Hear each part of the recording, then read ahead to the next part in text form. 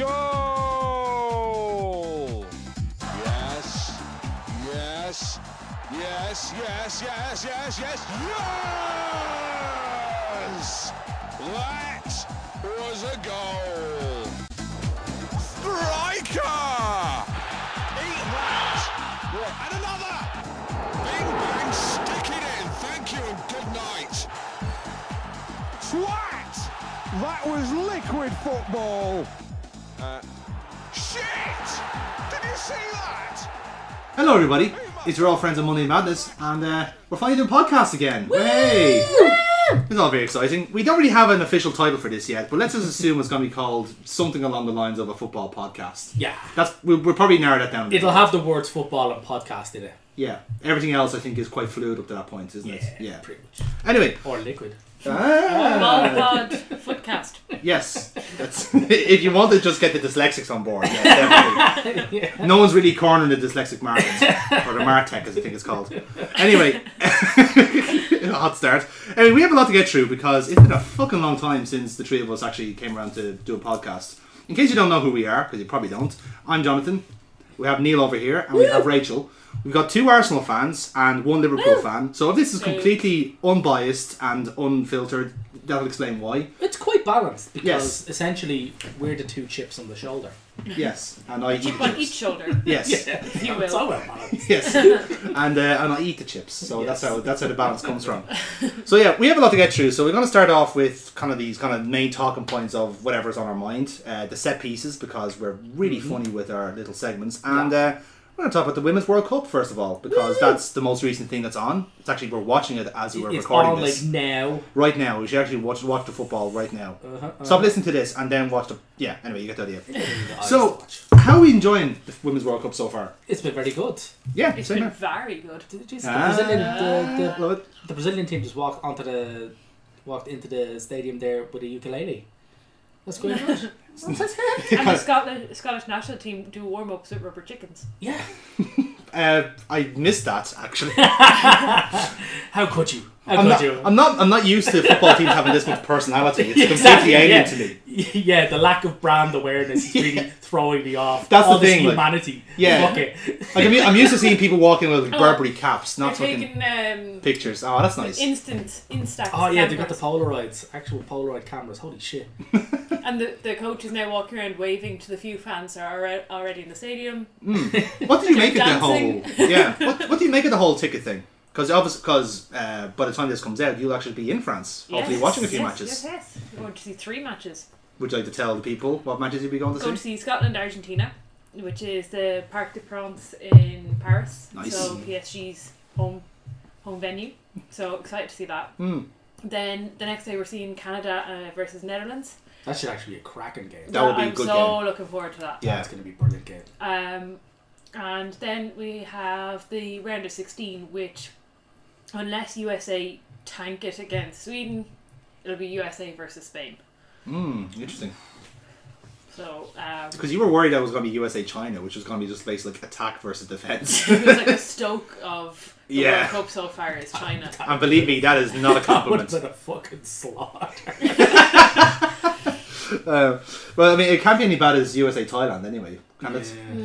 In, in a sense, um, how many what teams have kind of impressed us so far? Do you think outside of? I mean, France have been pretty good, obviously, host nation, decent team too, actually. Italy, Italy, who are going to be playing tonight, now, are have one of the been one of the ones that I had written off at the start because this is their first World Cup in a couple of World Cups. Yeah, um, and their home league has been like they've been pumping money into that league, and it hasn't really been broadcast across Europe as to how good those teams are doing. yeah, But this the majority of the Italian team are made up of Fiorentina and Juventus players, yeah. and Juventus won the league, and Fiorentina did fairly well in the league. So it's kind of it's showing that you know the I, I was very surprised with the Italian team as well because I Yeah. remember watching the Australian game they had, and obviously a lot of people been made about the Australian team and like Sam Kerr being their kind of their main outlet as such, and Gama had her in her pocket the whole match. Yeah, and that was the surprising thing is that like the not only does the Italian team have like a game plan, like you'd expect the Italian team if they're low on quality to at least have be tactically set up to defend and all that, but they're not. They've got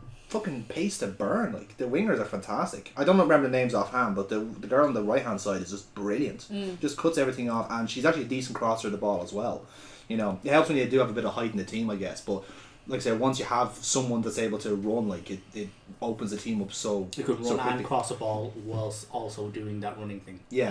In fact, if anything, actually, that, that group itself, like Group C, has been really fucking competitive. Like by far All- the best all- group of the of the if there tournament. is a permutation in this division, like in this Hmm. league, that they will all end up on the same. Six points, yeah. Yeah, and then it'll go to head to head. Yeah, and that's So- that's the fun part Yeah, because so go- would have practically beaten all of them, eating each other basically. Uh, that's who. it is. That's yeah, that's the one I was thinking of. But um, but yeah, like I suppose we had to go through the groups then to see how it goes because at the time of recording, A and B, Group A and B have been settled.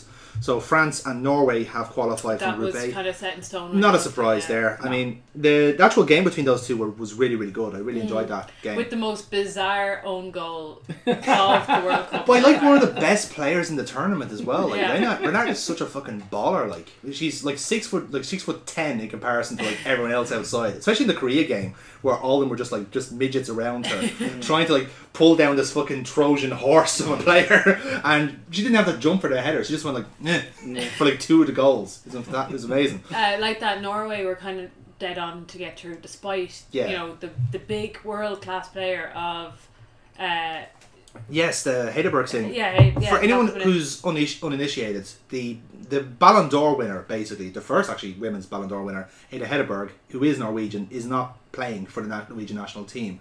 And to ba- basically surmise it, she's done a Roy Keane. Essentially, she's complained about facilities and uh, training training issues and various other like nitpick stuff. And there's just been a massive annex between her and the Norwegian FA. Um, And- they kind of went part ways to try and cover themselves, kind of Hmm. saying like, "Oh, look, we've made all these concessions." Like she asked us, but haven't actually. Uh, she's been like quite quiet on the exact reasons as to why she fell out with them. Yeah, But uh, she suggested it's mental health based and that they don't look after them in that sort of sense. Hmm. And um, she felt she was being disrespected. So yeah, all to her. But they, nor the Norwegian team have not needed her. no, like, that's what I was surprised by. They have plenty of firepower to work like with. Caroline Graham Hansen, um, she's just been signed by Barcelona, Mm. Um, and she has just kind of she's actually been leading the line really well. Like she Yeah. hasn't actually been the out and out striker, but she's been that link up between the midfield and the. I was about to say she kind of plays in that pocket like that kind of number ten, and then the girls like Utland I think is, and I can't remember the other one either. But um, like I said, they always, they usually play with like two up front anyway, don't they? That's their system. So um, the Nigerian team was actually good crack as well. Yeah, uh, you got Oshoala, who is. um, They're good crack. Yes. I like- they're, a great, they're a great laugh. Mm. Oshoala, who can Yeah. take on seven players whilst falling over and still beat them. It- I mean, if that gets you the Barcelona team, fair enough. But that's pretty much like I defenders can't defend against her because even she doesn't know where the ball's going to go. no, it's just pure and ultra chaos, completely. Uh, but it's fantastic. Like she played for Arsenal ladies for a while, and she was that kind of frustrating figure up front where she does everything right, like kind of Yeah. a Wobie, where it does everything right except finish. yeah, She kicked her own foot more times than she kicked the ball when trying to finish. that's why she. That's why she left. Um, she got sold from Liverpool as well. She went from Liverpool to you guys, I think. Yeah. And like uh, we, they obviously the team took a massive gamble on her because she was scouted from obviously Nigeria, I assume. Uh, and just saw like, oh, this she just has no ball control. she's fast. She can. She like, has like definitely up, she's like. improved, but you can even see with the goal she scored against South Korea Yeah, that she fell over while placing the ball absolute perfectly Yes. into the net. You're unsure whether or not she meant it or not. Whether she was Yeah. just trying to kick, stop herself from kicking her. I was off say it, it wasn't necessarily a goal, uh, a good kick. It was a good clipping error. It just knocked off her enough to go in. But like I said, Group A, I don't think was much of a contest. I mean, hopefully Nigeria might get through because they have like won, they've won one and drawn one, I think, haven't they? Um, so I'm not too sure actually if they would or not. But it depends on the way it works. Is only 16, there's only 24 teams, so the top, the best four third place entries actually get through to the next round. Yeah. So I mean, I'd like to see them go through. They've only got three points though, so I don't know would they. I don't think they get away with that really, even with the goal difference they have. So No, I don't, they, there is a slim chance, but not much of a yeah, chance. that's the. It, it, it's one of those weird things about the groups. Group Um, B, then we hmm. had German. yeah, no surprise there. Three wins out of three. They are the, They the are on seeds. second gear. Second I haven't gear. been very impressed with them. No, No. they've been playing. The, the team selections have been quite odd. Where Yeah. as kind of, um, apart from Marozsán, whose foot uh, is broken. Yeah, that's a massive, massive blow. Um, you can understand why she's not playing, Mm. obviously, but um, like other than Popp and a couple of others that you you know some of the nailed on starters you would have said at the start Yeah, aren't playing, and I think the defense had a few errors the other night. Against they don't they don't look that strong. Like even the game against China, like they they basically got away with it in a way. Like, China some defended quite well. bizarre errors where they let the ball bounce. I, remember, I think Louise Quinn for RTE was saying if Emma Byrne Hmm. had been behind her and Louise Quinn had done that, she would have not like been able to sit. That was the main her take- in the team bus on the way home. She would have had the head off her. I was about to say the main takeaway from that was the fact that they're in uh, Germany in the same group as we are for the European qualifiers, and Yeah. a lot of the girls like doing the, the punditry are going, yeah, we could probably take these fuckers because they don't seem to, they don't seem to have a very soft center, which is surprising for a German team. Yeah, I think the the thing is they are a team in transition. I think a lot of people have been saying that Hmm. that they have been there thereabouts the last few years. They've won Euros, back to back Euros. They've won World Cups. They they um, have gotten to the semi-finals, Yeah. the quarterfinals. Like they are very strong contenders, and they will even despite the fact that they're in second and third gear now, still have another gear or two to go up. They Yeah. have the other players to come through. Uh, Marozsán might be back for the later stages if Mm, they can If keep get her. there, yeah. So They've also They been chopping and changing coaches as well, which doesn't help. 'Cause I At the think they're- minute, yeah. they're fairly happy with uh, Voss-Tecklenburg. Stecklenburg, yeah. Um, so she's kind of a hero to the nation of Mm. women's football. So hopefully she can kind of get them through. Well, see, they, The like, last match was a stroll, wasn't it? It was a South Africa game, wasn't it? Yeah. I just wonder was that a bit flattering, maybe. Yeah. That's that's what that was my kind of my thought on like the South African team just were, were pretty much done after the Spain game, really. Yeah. Um, Yeah. but they ended up with seven shots on target.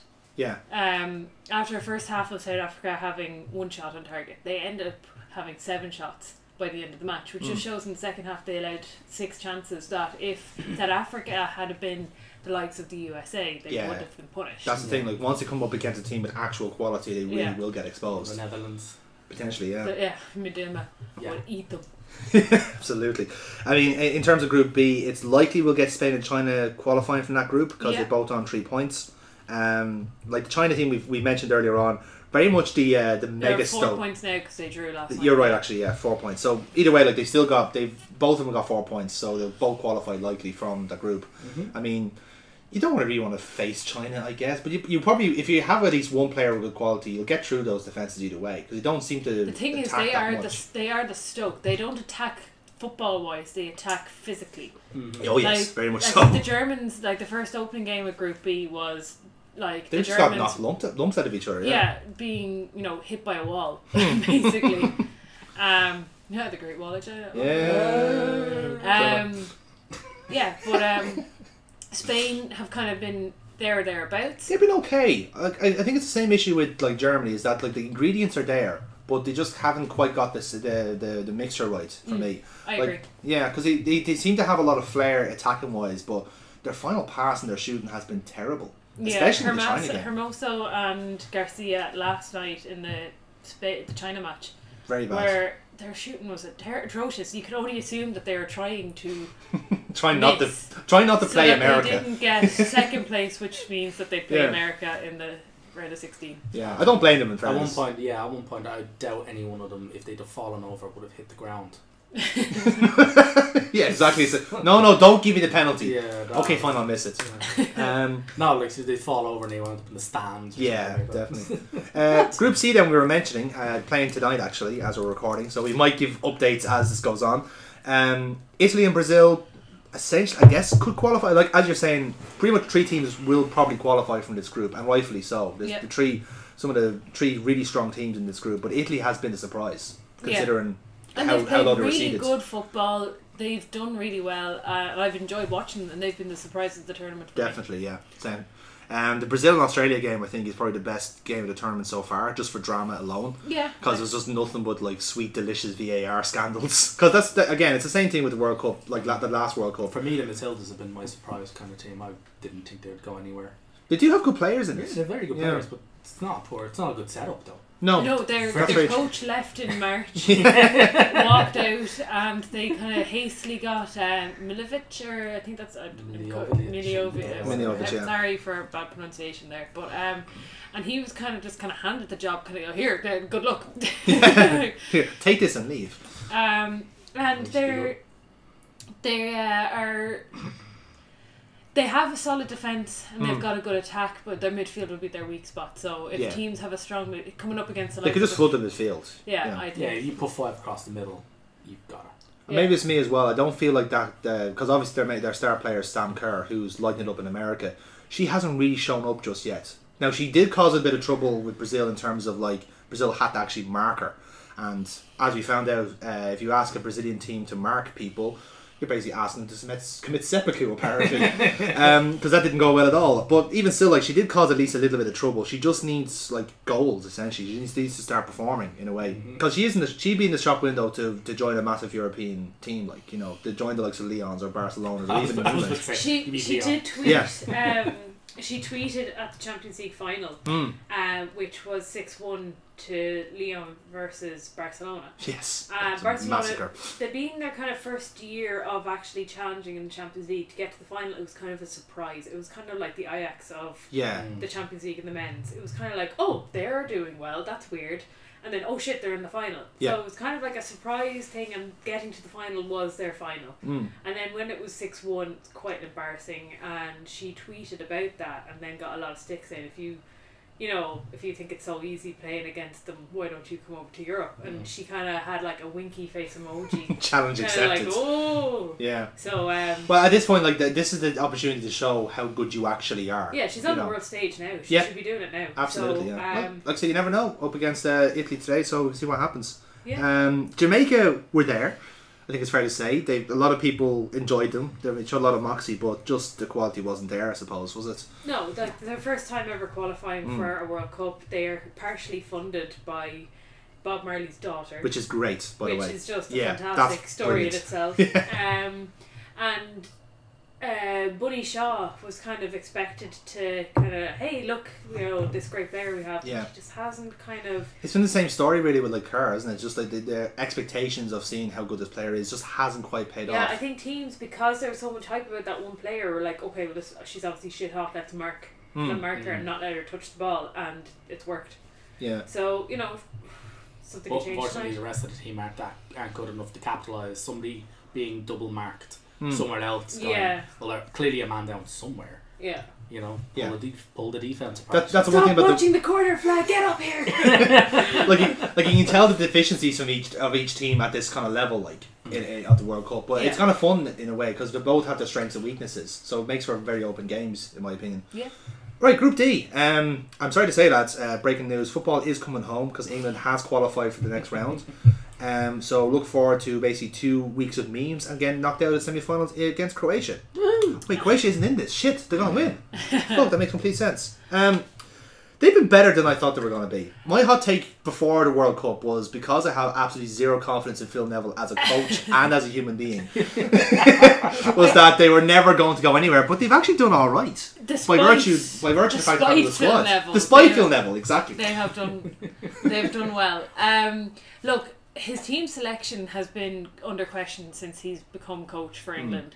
He's got a serious amount of choice in Yeah. pretty much all the positions. There's not a whole lot of positions, maybe holding midfield, where Jill Scott is kind of nailed on for that. Yeah, That he or and Steph Houghton in centre back. The rest of the team, picks itself, really, like, doesn't he- it? well, you No. depending on who you support, It's a coin you'd toss, pick yeah. a different uh, Yeah. team. But he seems to not leave Manchester for any of his going to watch the FAWSL matches Mm. where a lot of these players play, and that has kind of you know. Any of the northern teams have got a lot of players in the team. A lot like the Chelsea's, Arsenal uh, squads have kind of not been picked so far as. Hmm. Uh, Fran Kirby, Despite the fact that Ar- the Ar- Arsenal won the Women's Premier League. yeah, uh, Leah Williamson as centre back um, conceded the fewest goals in the league. And still hasn't played, hasn't and she? still hasn't even got Yeah. minutes. No, and mental. when Millie Bright got injured against Scotland Mm. after tackling herself, trying to take out Erin Cuthbert, um, it was kind of like, oh, well, Leah Williamson's going to have to come on here. And no, they brought on McManus, who plays for Man City. Um, like, Is there? she's there. and she was at fault for the Scotland goal that got them back in. Well, Yeah. got them back into it. They didn't win in, in the end. But yeah, it's a very weird selection, and they haven't clicked well because you can't expect a team that's been jostled around as Yeah, much. it still he seems like a hasn't put out the same starting eleven in a row, uh, Mm. like in the last at least Yeah. five matches, and it's very hard to get a team jam together. Like I think as a group, like the players are phenomenal individually. Yeah. Um, That's what's getting them through is actual individual class.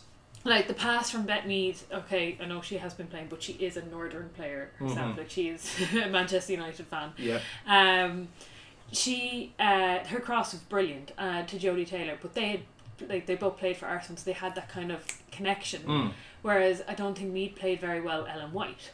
Yeah. Um, so it was just kind of like you need to find like teammates that work well together. Mm. Um, I think he just hasn't found that mix. I think if he does find that starting eleven, he, He- they can do really well. Yeah, because like I said, it's it, I think in terms of it, it's the squads. That's definitely the, the squad with the, perhaps the most depth outside maybe the American squad Yeah. or perhaps the French squad. It definitely depth is absolutely there. Mm-hmm. You know, they're not relying on one or two teams. But it's the same with the England England team if- in the men's.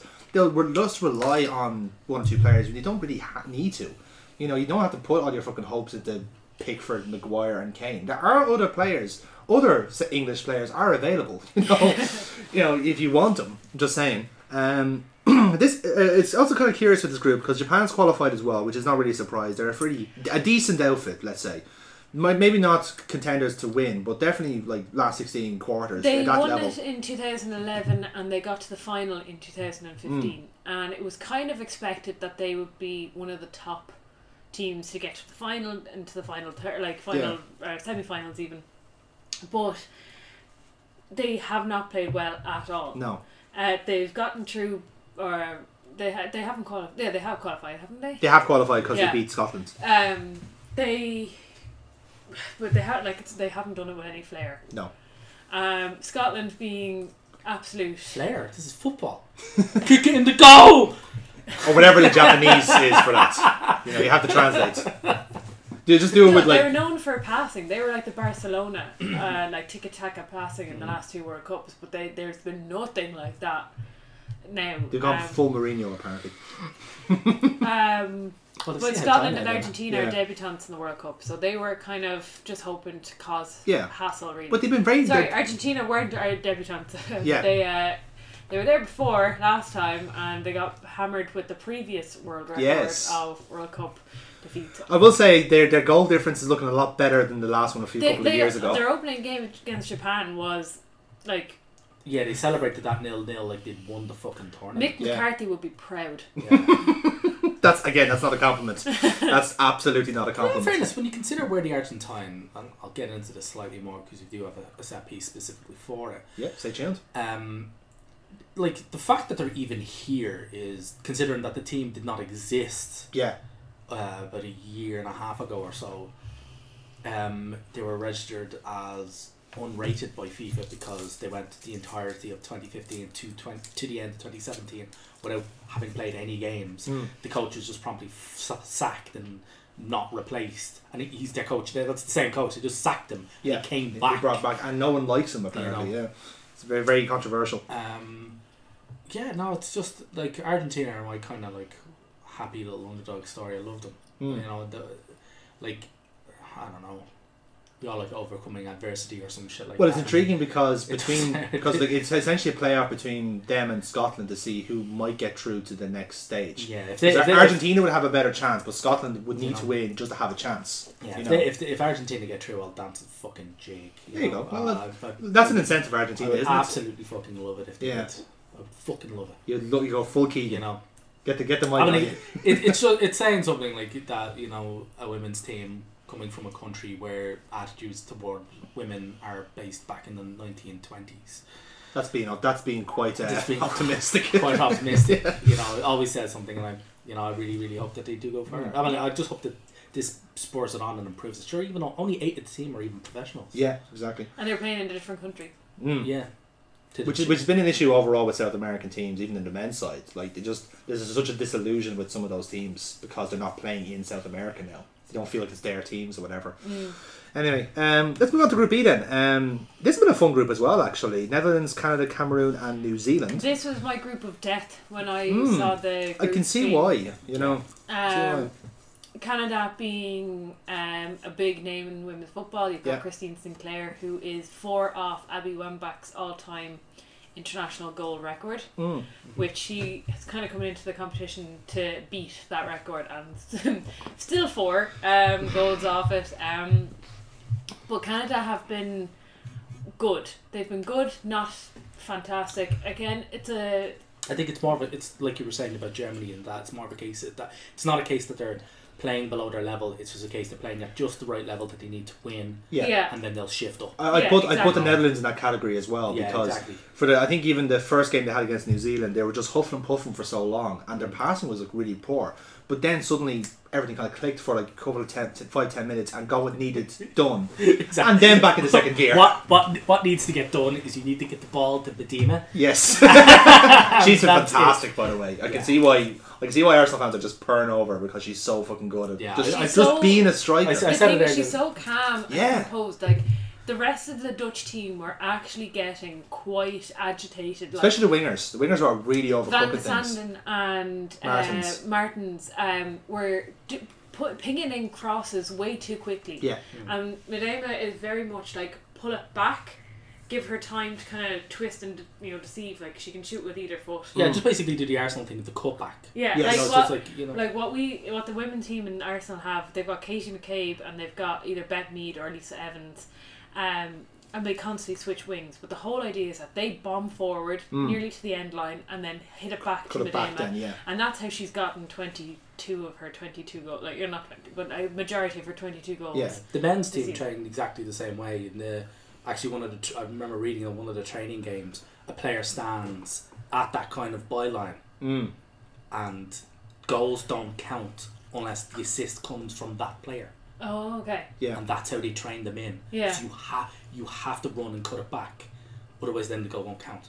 And Interesting. I, I reckon that they do the same. I reckon Montemurro does the same thing with And the the, Arsenal. the, the Yeah. constant switching, but Yeah. Martens and Van de Sanden, I think, switched once in the match, and then Yeah. like that lasted all of three minutes, and then Van de Sanden was like, "No, I want to go back on the left. I want to go back on the Don't right." put me back in the box. Um, but yeah, um, but it was purely a case of they were panicking and pinging it in, Yeah. and she was like, "Relax." And then in the end, Jill Roord came on and scored a fantastic goal to Mm. To win it. But Yeah, and like I said, and the Canadian, the Cameroon team, they were a bit of crack as well. Um, they danced onto the field for their first match. That was Yeah. pretty cool. You know, Yeah, that was you, know, you can't say many teams do that. I mean, I don't think Sheffield United will be doing that next season, uh, unless they do it with Saudi Arabian scim- scimitars. But uh, I don't know, they might get set on fire as no on the way out. Could be. It depends if they get that- if they get relegated or not. That could be a that might count as stats. Yeah. but um, but yeah, like I said, this was this gl- this uh, group was kind of a formality in the end. Uh, but uh, it's just between Netherlands and Canada for what, first what place. What I now. like about the New Zealand team is that um, they are consistently qualifying for the World Cup, but Yeah. not really progressing. yeah, they haven't won a game in the World Cup. Yeah, which is bizarre because you look at the team and they're not terrible. No, they're good. Um, they're actually really like their their striker um, Giorgio is really good. Like Yeah, she's, she's actually been one of the better Gregorius. performers. Gregorius, sorry, Yeah. I was thinking of someone else there, but um, but no, she's really good, and she's tried fucking so hard because she's playing on her own. She's basically like a, like a Shane Long situation, Yeah. where she's just getting balls pinged to her and she's chasing after him. But she's actually quite good at that. It's just Yeah. that it hasn't paid off for her, and she was so close to scoring against Canada as well, which is even more excruciating. Um, but yeah, like the, this group was kind of It was quite a, quite a fun, Yeah. and I'm excited to see Canada versus Netherlands. Mm. Nice. Yeah, it's gonna be the a great flesh game. and That's going to be a good one. yeah, I'll be wearing my Arsenal jersey, my uh, mint Arsenal jersey, so keep an eye out. yeah. Well, we'll try and spot for you on TG4. I refuse to call them TG car. And they should be the one getting all the drinks thrown at her. Fuck out of the stadium, you fucking bum. Yeah. Uh, we finish off then with group. Abomination. We finish off with Group F then, which is uh, not much to say really. United States have qualified with a goal difference of 16, and I'm not sure how they got that. Um, and uh, Sweden qualified with them as well. No, So it's 16 only because Endler stopped every other shot. that goalkeeper is absolutely brilliant. She does she play for in Europe or something? Yeah, she plays for PSG. Ah, yeah, that makes complete sense because like you can just see like the difference she in is the team. I think is she the only professional player for Chile, Yeah, I think so. uh, or one of the few. But um, yeah, she plays for PSG. But you can even tell the difference between the team because the rest of the team are so disorganized. But uh, as you were saying uh, before we started, like there's an actual story as to why that team is so disorganized because they've been hastily, hastily fucking put together and they have no time. They've had no games to practice. Yeah, They they, haven't haven't played a match yeah. in nine over nine hundred days. That's insane. Absolutely, and and yet to, again, the Chilean FA um, refused to pay uh, to host another team. Like teams were offering to pay friendlies, mm, and the Chilean FA refused to pay for a stadium for the evening or whatever. nuts, absolutely nuts. Well, it's it's a common kind of thing, a common kind of theme. Like the again, I'll get onto this, but the Argentine FA have only just recently dropped. Like a lot of teams in South America charge like women to play Yeah. for Yeah. them. Like if you want to play for that team, you have to pay money to do Pay that. into it, yeah, You know, it's mad. and it's it's it's shocking. Like. I, I think um, what needs to be remembered as well is that the Irish team in 2017 had a strike because of similar like reasons. Yeah, exactly. Yeah, Like, similar if, point. anybody, if anybody thinks this is like European shade Yeah. on South American, you know, uh, misogyny and bigotry. Uh, No, it's we live in we live in general Ireland, so we, we live in Ireland, so we kind of own that. Yeah, we, we wrote the book on that. Sonny. Absolutely, nobody treats their women's team well. Very few people treat their women's team as badly as we Yeah, do. we just have a pop up book and it's the same scene from the Yeah. Quiet Man comes up. Yeah, Uh, So- yeah, no, it's kind of run of the mill Group E. Um, Yeah. I'm looking forward to the next round of games. Yes. Um, When they we get the big teams in. and yeah, like um, it's been good. It's what has been really enjoyable about this is that the underdog teams have not, apart from Thailand, Yeah. have not been complete underdogs. That's the one thing I've noticed is that the quality of the football from those teams has been so much better than last year. Because I, I remember watching last year's stuff and like teams like the Ivory Coast, for example, which I believe were in last year, unless I'm mis- misremembering, and they do something really cool like run down the wing and they forgot the ball. You know what I mean? Yeah. Like s- really simple stuff like that. But ne- but the coaching you see is, is getting better, even with the amateur sides. Look, uh, Scotland's a good example. Like they have Yeah. a few good players, and the rest of them are kind of semi-professional, but they still got there by, by virtue of the fact that they have really good, solid players to start off with, and the players that are behind them are well coached enough to Yeah. get there. I know they have. I know Celtic have a decent, are starting to build a decent women's team now as well. yeah, they've got does help. Glasgow City, who are semi-professional, Yeah, who uh, will be the main Scottish club. Um, Hibs would have been in the past, but Mm. have kind of dropped off the pace after selling Kim Little. We're like, oh, our job is done here. because we made our money. Off, Yeah. off you pop, lads. uh, but yeah, um, also it doesn't help when you leave like.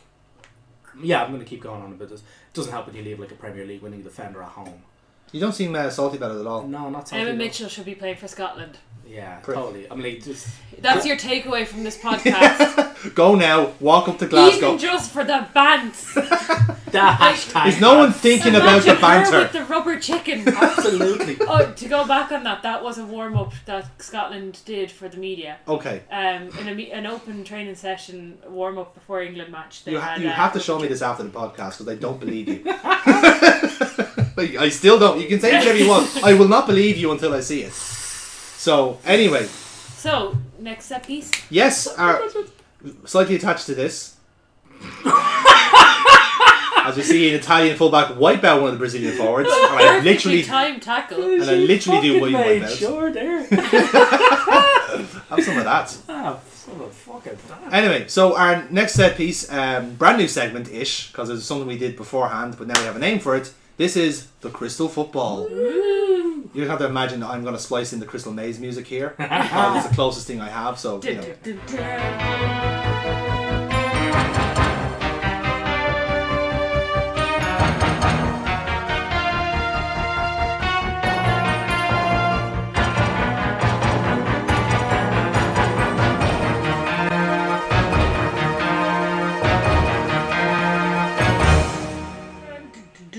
Pick exactly- up tokens for cash. Yeah, pretty much. Or one of us is suddenly goes bald, Yeah. which is kind of we're halfway there. but this one's really simple. We are just going to predict something, and uh, in the full knowledge that we're probably going to be wrong. Yeah.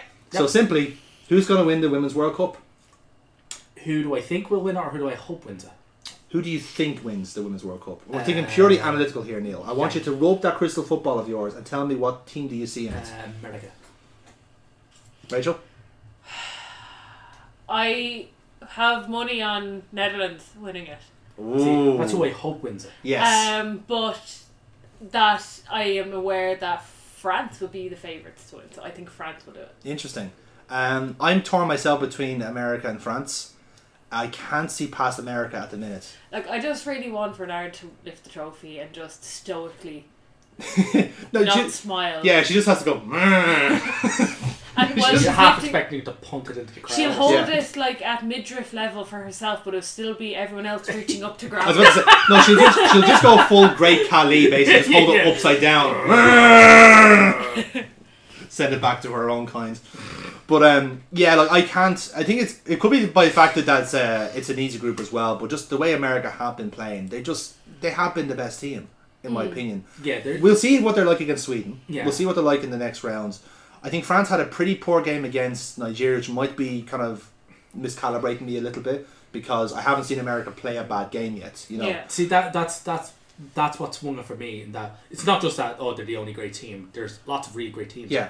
lots of But they've been flawless. stunning, stunning Yeah. player, stunning players. America don't even have well in some regards they do have some of the best players. Yeah. they don't have all of them, but they're the only team, the only great one of the great teams that have showed up, switched on. Yes. Yeah, yeah, fair enough. Straight away. You know. Yeah.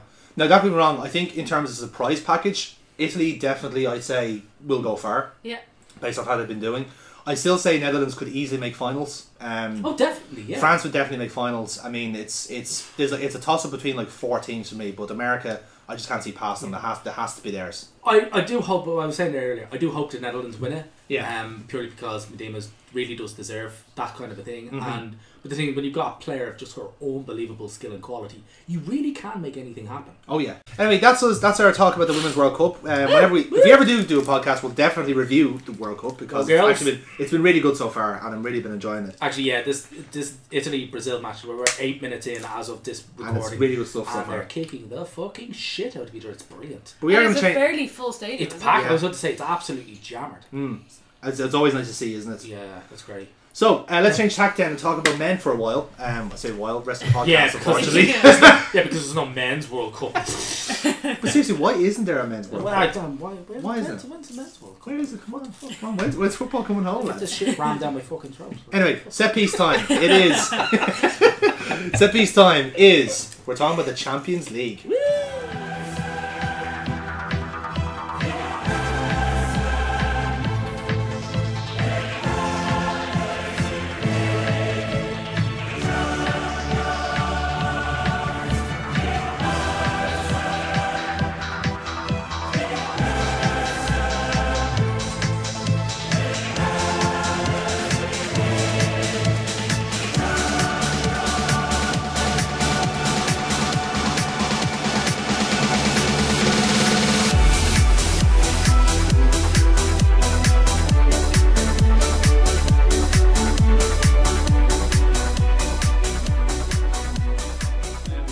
this isn't just going to be about 10, 15 minutes of me just waffling on. I want to know what you guys thought of the Champions League first. Okay, I think, can I go first? yes, please do. The pizza we ate while eat, watching it was really good, Yes. That is slightly unrelated to what we're talking about, though. but that's all I remember about it. That is the issue. Hormone. That is the issue. I, I, I that is a problem. I get that. But we're talking about the Champions League as a whole. Ah well, VAR. Yeah. yeah.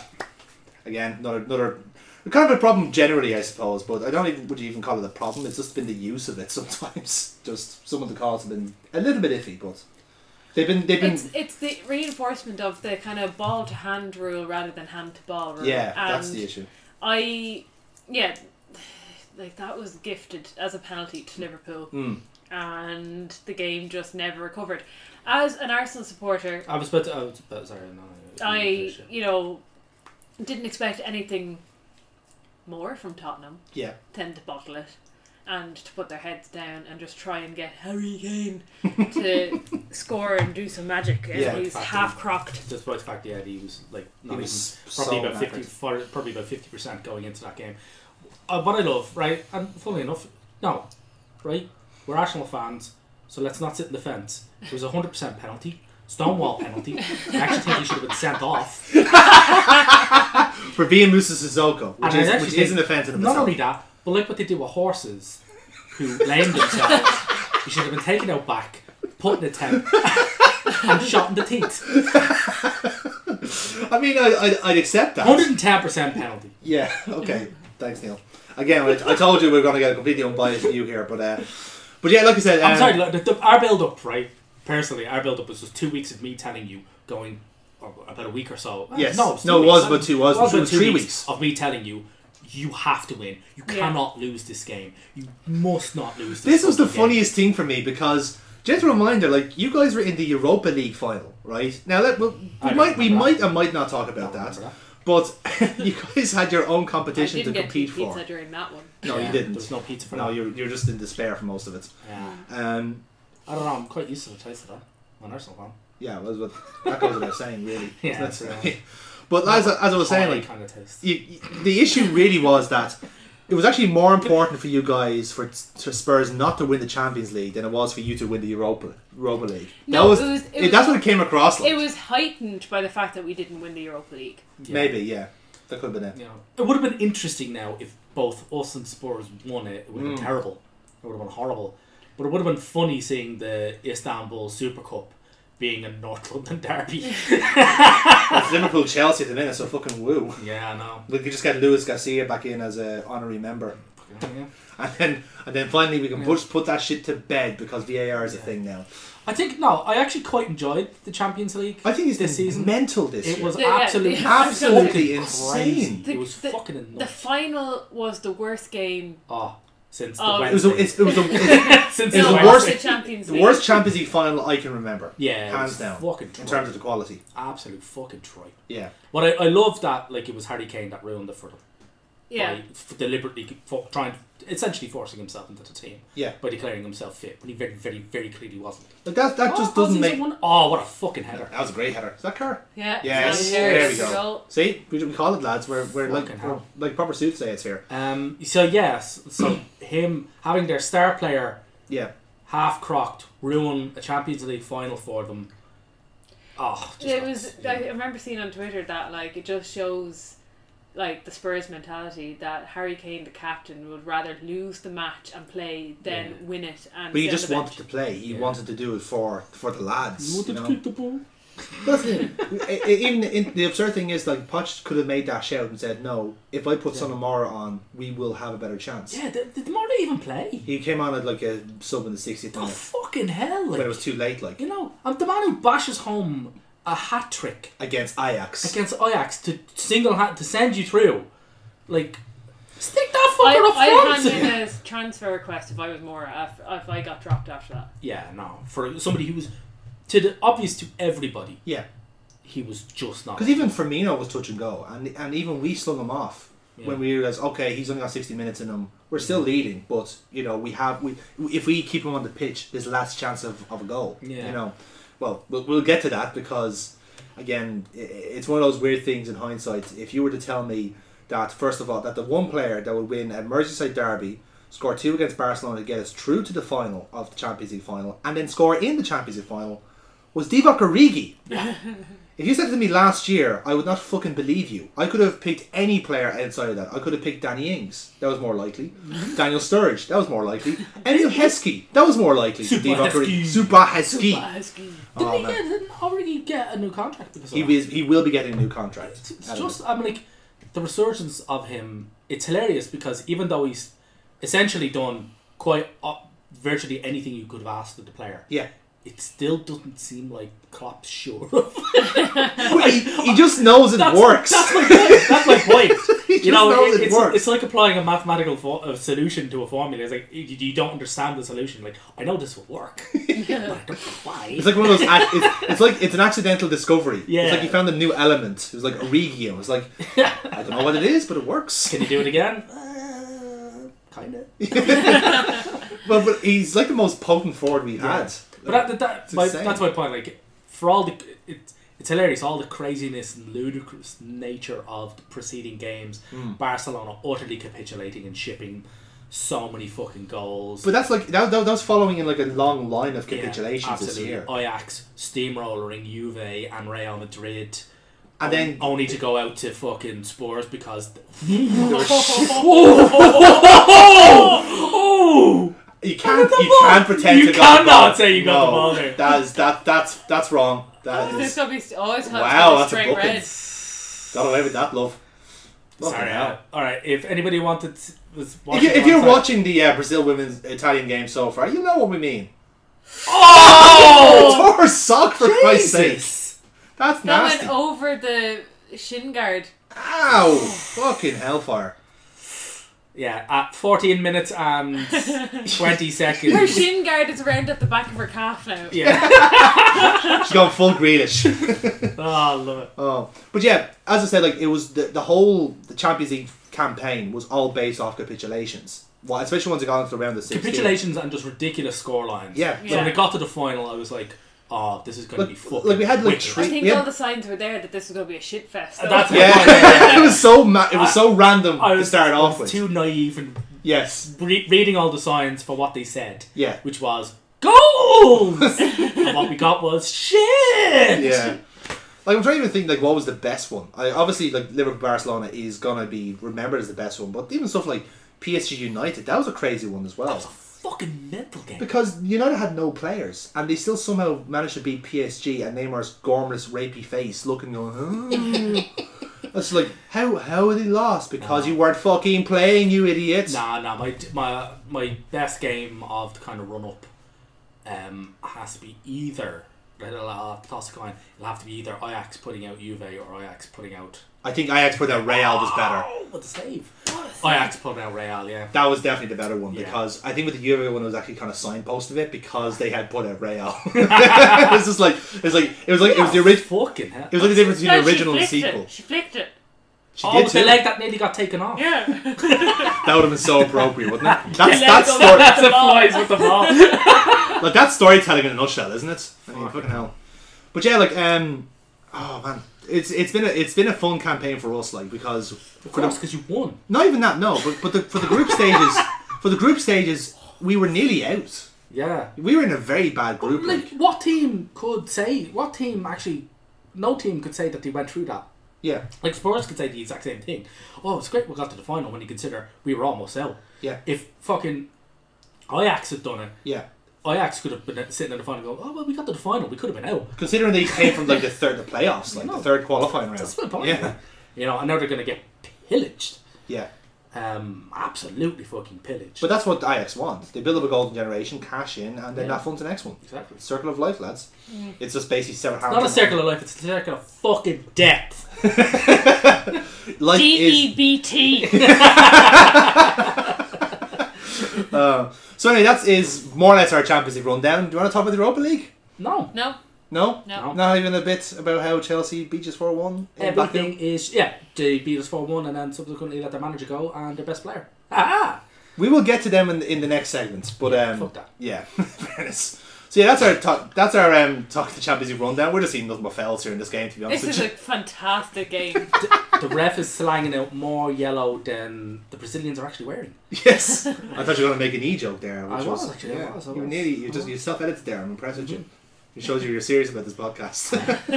I actually really am. Yes. So let's move on then. Um, I suppose this is kind of half time ish, but uh, I suppose we just rattle through then to our next segment, which is Hey, you can our, put a little musical interlude right here. yeah. I could do that.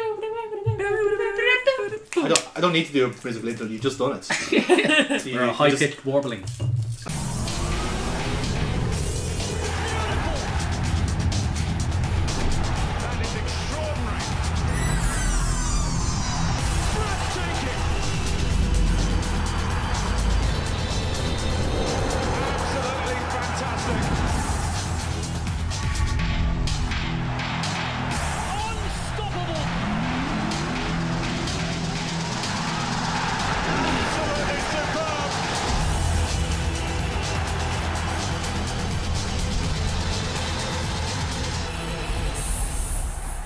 Um, our next, our last set piece now of this uh, podcast, because uh, we we are slightly running out of topics now at this stage, is our Premier League rundown.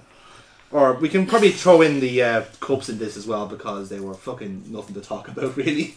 Well, they're all won by one team. Yes, so I think we just, we, we'll we'll just like just bracket into the whole. They're, uh, they're all won by one team, and it's the one team that didn't give a shit about any of them and didn't want to win them because they didn't win the one cup that they wanted to fucking win, which was the Champions League. yeah, I again I find Which it makes so, it so fucking brilliant. It's like when uh, like when France won the World Cup, and I was like, okay then, Hugo Lloris now has a World Cup winners medal, but he made such a huge gaff in the final Yeah. that it tainted it for him, and I was like, ha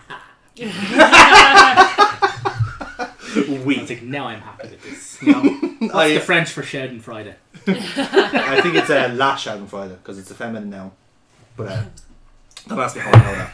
So, um, I suppose the best thing to do is actually run down the table and see what happens. So, starting from the bottom, um, g- Now we're give- here. I suppose you're yes. Thank you for that reference. Um, we'll start off, I guess, with the relegated teams and laugh at their dismay. Huddersfield Town. I don't think we're really surprised that they went down. Well, no, I think we all kind of predicted. I know we don't have the list in front of us, so I'm free to lie as much as I want. Um, we made predictions at the start of the season, and uh, now they they've gone on missing. YouTube They would be on YouTube, yes. ah, yeah, but I have to go onto YouTube then, and I've had and my listen to ourselves? Yeah. so let's not. I've had my fill of Intel videos. Um, Enough about our own content. Yeah, no, I don't think I wasn't too surprised when Huddersfield went down. No. They went down quite early, didn't they? They were, Really, yeah, they really. were gone in. April, weren't they? I'd say they were relegated when they sacked David Wagner, yeah, to be honest, and then they and then they replaced him with uh, Martin from Wakefield, yes. which was probably the, one of the funniest moments of the season. They had no idea who the uh, new coach was. They heard that he had a name, he had a picture. They found that they found someone who looked very similar in the crowd, and the Sky reporter like, bumps in and goes, "Hi, are you uh, Jan Siewert?" He's like, "No, I'm Martin from Wakefield." Sorry for disturbing you. and then Huddersfield Town, knowing that they're going to get relegated, said, "Okay, let's just have a laugh." So they get the same guy in to act like Jan Siewert for the announcer video, and then Jan Siewert, with the fucking worst acting I've seen since Tommy Wiseau, um, fucking goes in and just goes, "No, that is my seat. Hello, I am Jan Siewert." It's like, this is not going to end well, is it? And Um, didn't. Speaking of things that did not end Anyone well, who does that sort of announcement video deserves to get relegated. to be fair, I think he knew what he was walking into. Really, you know, just like, listen, Jan, you're not going to believe it. There's a guy in the crowd that looks exactly like you. We're going to get you in, a, get him in as an announcement video. It's like, We'll make the whole Can I- thing worth it. can I can I resign now or No, we're waiting until we're mathematically done, and then you're out. yes? No, he's, he's going to stay on. He's Oh, staying is on. he? Yeah, he's staying on for the for the championship campaign. To be honest, I think he was hired for the championship campaign Hmm. because even in January they were signing players that they would be using next season. They weren't trying to like, you know, flog a dead horse. Oh yeah, no, absolutely. But either way, I do think that we're not going to see them again. Probably not. No, Because actually, the, the worst thing is their their owner um, is stepping down as well because he has cancer. And Aw, the sad, sad yeah, it's a sad story. But to be fair, like the actual fairy tale of actually getting there is enough for him Yeah. because he's selling it at a ma- they're selling it at a massive profit, Mm. like for whatever he bought it for in like League One. So that's a good story. Yeah, no, no. It's, Yeah. No, it's good, but we're not going to see them again. Particularly Agreed. when you consider the fucking the skill level of the teams that have been promoted. Yeah, exactly. We will get. To, Leeds are back. yeah, they're The not. fuck? They're not. They're I did not. No, they didn't get, Aston Villa won the playoff. Oh, motherfucker, Villa are back. They they beat Frank Lampard's derby, and Frank Lampard's derby beat Leeds United. Oh, fucking hell. Sorry, Shows you Marcelo Bielsa's Leeds United. I keep getting that mixed up. How, I'm that sorry. tells you- that Yeah. shows you how much attention I've been playing. Yeah, that's what happens if you go on holiday for three weeks. Yeah, that's true, yeah. Sauce yourself, silly. Uh, speaking of going on holiday, um, Fulham. This was a fucking car crash, wasn't it? I had so much hopes for them. I So think did I. Had, I. I think I had them up in the top ten. I had them in. on I had him their- mid-table based Yeah. off the Yeah, I definitely didn't have them relegated. I have to admit, I'm, I'm- when you mentioned Fulham there, I was like, I'm actually kind of happy we don't have our prediction tables in front Yeah, of us. 'cause- Yeah. 'cause I that- don't want to see where they yeah, came we, we would have we would have made quite embarrassing of Because ourselves. I, I know I put two of their players like straight. I, th- I think I put Seri straight into my fantasy football team. yeah, And Charlotte as well. I Yeah. think. I had them- Mitrovic in from the start. No, you Mitrovic, yeah. Yeah. To be fair, like I when we had recorded the podcast, they had not gone full mad in the transfer markets because they had signed sensible enough signings. They got Mitrovic back in. They got a new goalkeeper, brilliant. They got no defenders. They got John Seri, which is huge, like twenty six million. Like, everybody seemed to be. Everybody and their dog seemed to be in for him, and then he went to Fulham. I was like, Yeah. what? But here's the and here's what happened when we recorded that. Fulham went mental. Yeah. They signed another goalkeeper. They signed fucking Luciano Vietto on loan. They signed some fucker, whoever he is, Zam- Zambo Anguissa, who's their record signing for 28 million. Oh, Anguissa. And he was terrible. He's one of the oh. worst midfielders I've ever seen playing the Premier League. Garbage. It's like seeing fucking Lucas Leiva like cro- dipped in chocolate. It's just it, he's just so bad. You know what I mean? and I don't understand why they signed him. And then they doubled down then in the in the January market when they had Ranieri in charge mm-hmm. and said, okay, we'll sign Ryan Babel, which was actually probably the best signing of the of the season. When you were when even Liverpool fans were going, I remember him. He was shit. I- it was quite good. I watched an, an not an inordinate, but I watched more Fulham games than I would have usually watched. Yeah. Purely because they had Calum Chambers on loan yes. and decided not to play him as a defender but as a holding midfielder. Well, that was Scott Parker that was doing that. But Yeah. when when Jokanovic was in charge, he was definitely centre back Yeah. and was really exposed. Yeah. But when he was a holding midfielder, he like he'd scored like six goals. Yeah. He was brilliant Oh, no. as a holding midfielder. Let- to the point that uh, most Arsenal fans now believe that when he comes back, Hmm. I think he's got the, he's also the unfortunate distinction of being loaned out twice in succession to two teams. Three times. Three actually. times. Three, Three times. times. Middlesbrough. Uh, fuck. What was the other one? Fulham, obviously. Fulham. There was one. There's one in between them. Burnley? No, it wasn't Burnley. No, no, no. Uh, I was actually wrong completely. He has been relegated twice. He has been relegated twice, not three times. I just got my years wrong. So he spent a year at, just at Arsenal in a quandary apparently. Yeah. But um, again, speaking of quandaries, uh, Cardiff. They were a bit of fun actually this year, weren't they? Quite fun. They were absolutely no chance of get of staying up, but my god, they actually they actually tried. They were very very close.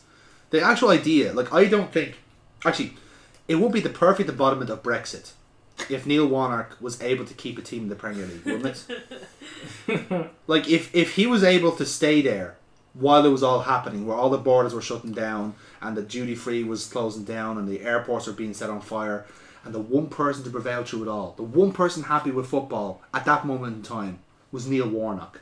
I mean, it would have been funny, Yeah. but I think morally this is the right decision for for Cardiff to be relegated. oh You yeah, absolutely. Yeah, no, definitely. I, I think that is one of the ones I actually had to go down. Yeah, same. Yeah, yeah. I, I didn't Um, give him a chance. oh, go on. Hey, that's offside. Ah. Um, yeah, no, like they were, they were fine. Yeah. Uh, they were, They were Neil Warnock's side. yeah, like as And much as therefore I did not deserve to hate that in creature, Neil Warnock. Um, Oh, great stuff. But yeah, um, no surprise with really with Cardiff. They were always destined to go down, but they were going to put up a good fight and did. I think they only got relegated the second weekday against Palace, which is kind of even funnier considering Palace fucking love Neil Warnock for some reason. He's always seems to manage there for whatever for. He's like the default manager for some reason. Yeah, he shows up like a fucking bad penny Yeah, and fucks the team up. Yeah. They sack him. And then Then, bring then back. he- yeah, it's like an abuse of law or something like that. They keep taking them back even though they know what's going to happen. They know they, they know his views on the dark people. Yeah, they know his views on the foreigners. But yeah, um, so in a, in a sense, like um, two, I, I, you could argue maybe Fulham was a bit of a surprise there, but that's that was be- before they went mental with money. yeah. And generally speaking, even with Fulham, they just never played the right players. Oh no, absolutely. It was a very much a case of a, the whole being far, far less than the sum of its parts. Absolutely, yeah. Like when you consider the players they had, you're thinking even on just sheer individual skills set alone, that team should have done something. Yeah. Oh, well, at the very least, sorry, not done something, but just not gotten relegated. Like you'd think that someone like Seri, for example, would run would, would showcase how good he is. yeah, Didn't no, he did not. No, and I, I even say like he ain't being bothered twenty something million ever again. no, No. no, that that's his career done. Twenty, maybe. But are we talking about us next? I'll talk about Manchester United, but Ah, yeah. I was kind of like relating to it. Like those three teams I mentioned are all going to have to have a They rebuilding had year a next race season. to finish outside the top four. Mm. In the, like it was a shambles. Like, Such a bad end to your. It your was season. so terrible. It was like- we'll, we'll get on to Arsenal when we, we go after. But like Man United, for example, Man like, United- that, their- that that season was chaos. for Man them. United are terrible. They're just absolutely terrible. Since Mourinho has left, Mm. Like he must Since be. Alex Ferguson left. Yeah, let's qualify that. I in yeah. yeah. But like, but after like the nosedive after, well, they took a bit of a turn up when Mourinho left. Yeah. Then they literally the instant Solskjaer made it was made permanent. That I just which was the could not- dumbest fucking Yeah. the It's the dumbest thing. worst Why call make him permanent? There was no need to make him permanent at that point. No You incentive. could've Waited Yeah. until the end of the season. Wait until the end of the season and then do stuff. Why were you trying to make up shit full tilt? Like in hindsight now, when you look at how many managers are now on No, the market, it- it- yeah, yeah. Like look at look at look at who manage, what manager you could get now at this point. Yeah. You could lure Pochettino out of Spurs. Allegri is gone out of Juventus. Yeah. You could have got Valverde from you- from Barca if you wanted to, because Yeah. he's not going to stay there. No. You could have got fucking. You could have got tons of managers. You could lure lured Thomas Tuchel away. Sarri is another show. You know, there's so many managers out there. Rafa even could have been lured, but I don't think he would take it. But at least there's options out there to stick with to actually give the job to Solskjaer completely. Not even any incentives. Like, well done. You won eight games in a row. You got us back up to speed. You beat PSG in an utterly insane game where PSG essentially beat themselves. Yeah. You know what I mean? Because like, like I said, United had a threadbare squad. Rashford had a brilliant game, and that's what won it for them. Yeah. You know, but at the same token, there is no, there was no plan there. It was literally, it sound in a way, it was like a very emotional decision, but it, it's not an emotional decision. It's an incompetent decision. It's like literally, we have nothing Well, it else. could be both. I don't think so. Like, do you think Ed Wood was an emotional guy? I don't think so. I think he's in. Again, I've, I've been I do this. think he's a, an emotional guy because I, because he's definitely not a footballing guy. He's absolutely not a footballing guy. What he is though, what he is though, he's a marketing guy. So I think it's, Is so he a robot? I'd say he's more of a pug. Yeah. Yeah, he's got a go- kind of a pug face to him. Yeah, But but the thing is, marketing's all about emotion. It's all about triggering emotions in other people. that's to get them this to buy your is this is my point. Yeah. I think the strategy here is that you have Solskjaer at the helm. It's more of a fan grab to say you now have one of the one of the legends of the Fergie team in there, and you have all these allusions to the Fergie team, and that's where your your mm. marketing drive is. So it's not actually for football reasons, in my opinion, that they have Solskjaer in charge. It's to make money, hmm. and that's and that's been their that's been their transfer system for a long, long time. Do not get players in that are better for the team. Get names. Get Pogba. Get Fred. Fred is red. That's a great hashtag. Fucking Alexis Sanchez because he's the hot. He's what people are talking about at that point. Put him, give him all the money, and let him stay on the bench. Pog back. Yeah, but like I say, everything's a hashtag and everything's a campaign with them. You know, we, we can compare with like even compare with Man City for example, right? What they're doing now this season is getting players that they need. They're getting Rodri in, who's going to bolster the midfield. They're getting João Cancelo in, who's going to get be a fullback. That's all the players they need. It's laser focus. It's what they want. We'll do the same thing eventually when Klopp like gets away from his hangover because he's still fucking hammered from the Champions League final, as you can imagine. Yeah. But it's laser focus recruitment. With Man United, I would hope because at least the names they're being linked with are at least better than what they have been doing. There seems to be a new policy in place with Dan James. He's a good player. I don't know if he'll get his shot because I, there's going to be some tough decisions there in that team. Because a- uh, a- uh, ahead of like of, of Dan jo- Dan James is Martial. So I think you'd have to shift Martial before you can even play James. Yeah, but who? who uh, this is my. Who would take him though? That's the this is- difference. this is again. We were talking about this beforehand. Like I reckon that they're in serious trouble of losing a lot of players, but the players that they're going to lose aren't the players they want to lose. Yeah. So they're going to lose players like De Gea. Uh, James will probably go. Uh, I'd say they'd rather keep Rashford, but like I think Rashford would go. Uh, if, Rashford if, if a team go, like Spurs, even if a team like Spurs, for example, just Yeah, is he's here. demanding like three hundred Yeah. k a week off the bastards. Like, like, fuck off! What have you done to earn that? You know? Yeah.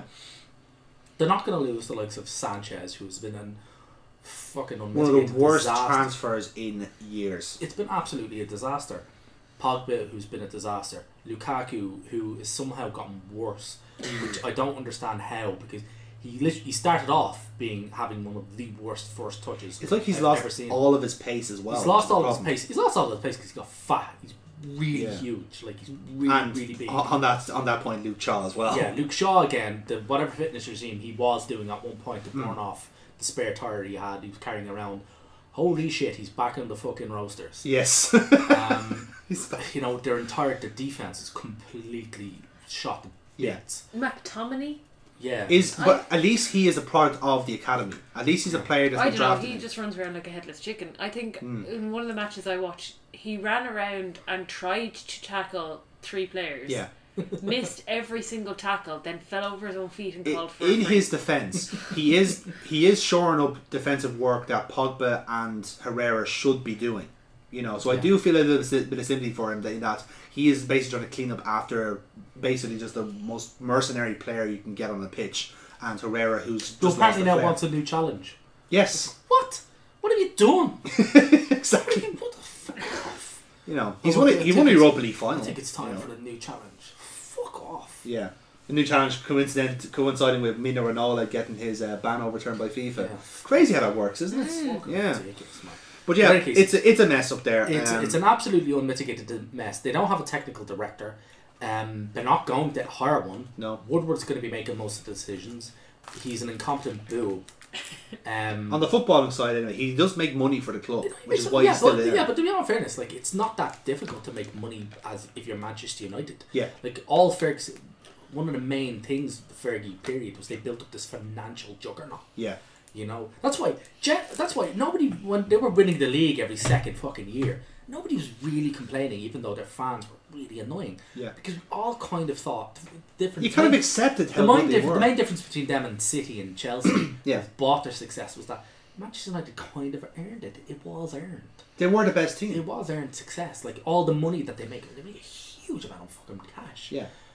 But it, and it was because they had a policy in to to use the academy. Yeah. Because even if you speak to United fans, uh, their always thing was that we always use our own players. Yeah.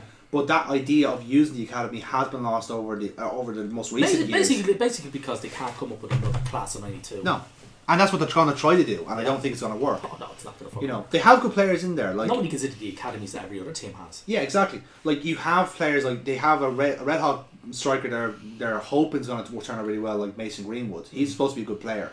Who's But- the mop haired one? Uh, Tahith Chong. Chong. Yeah. Yeah. Now they have high hopes for him as well. Yeah. But the problem is, that's it. Yeah. They only got two. You if you're going to do this whole new policy, now you have to buy in, which is why they're being forced to spend fifty million on Wan Bissaka. Yeah.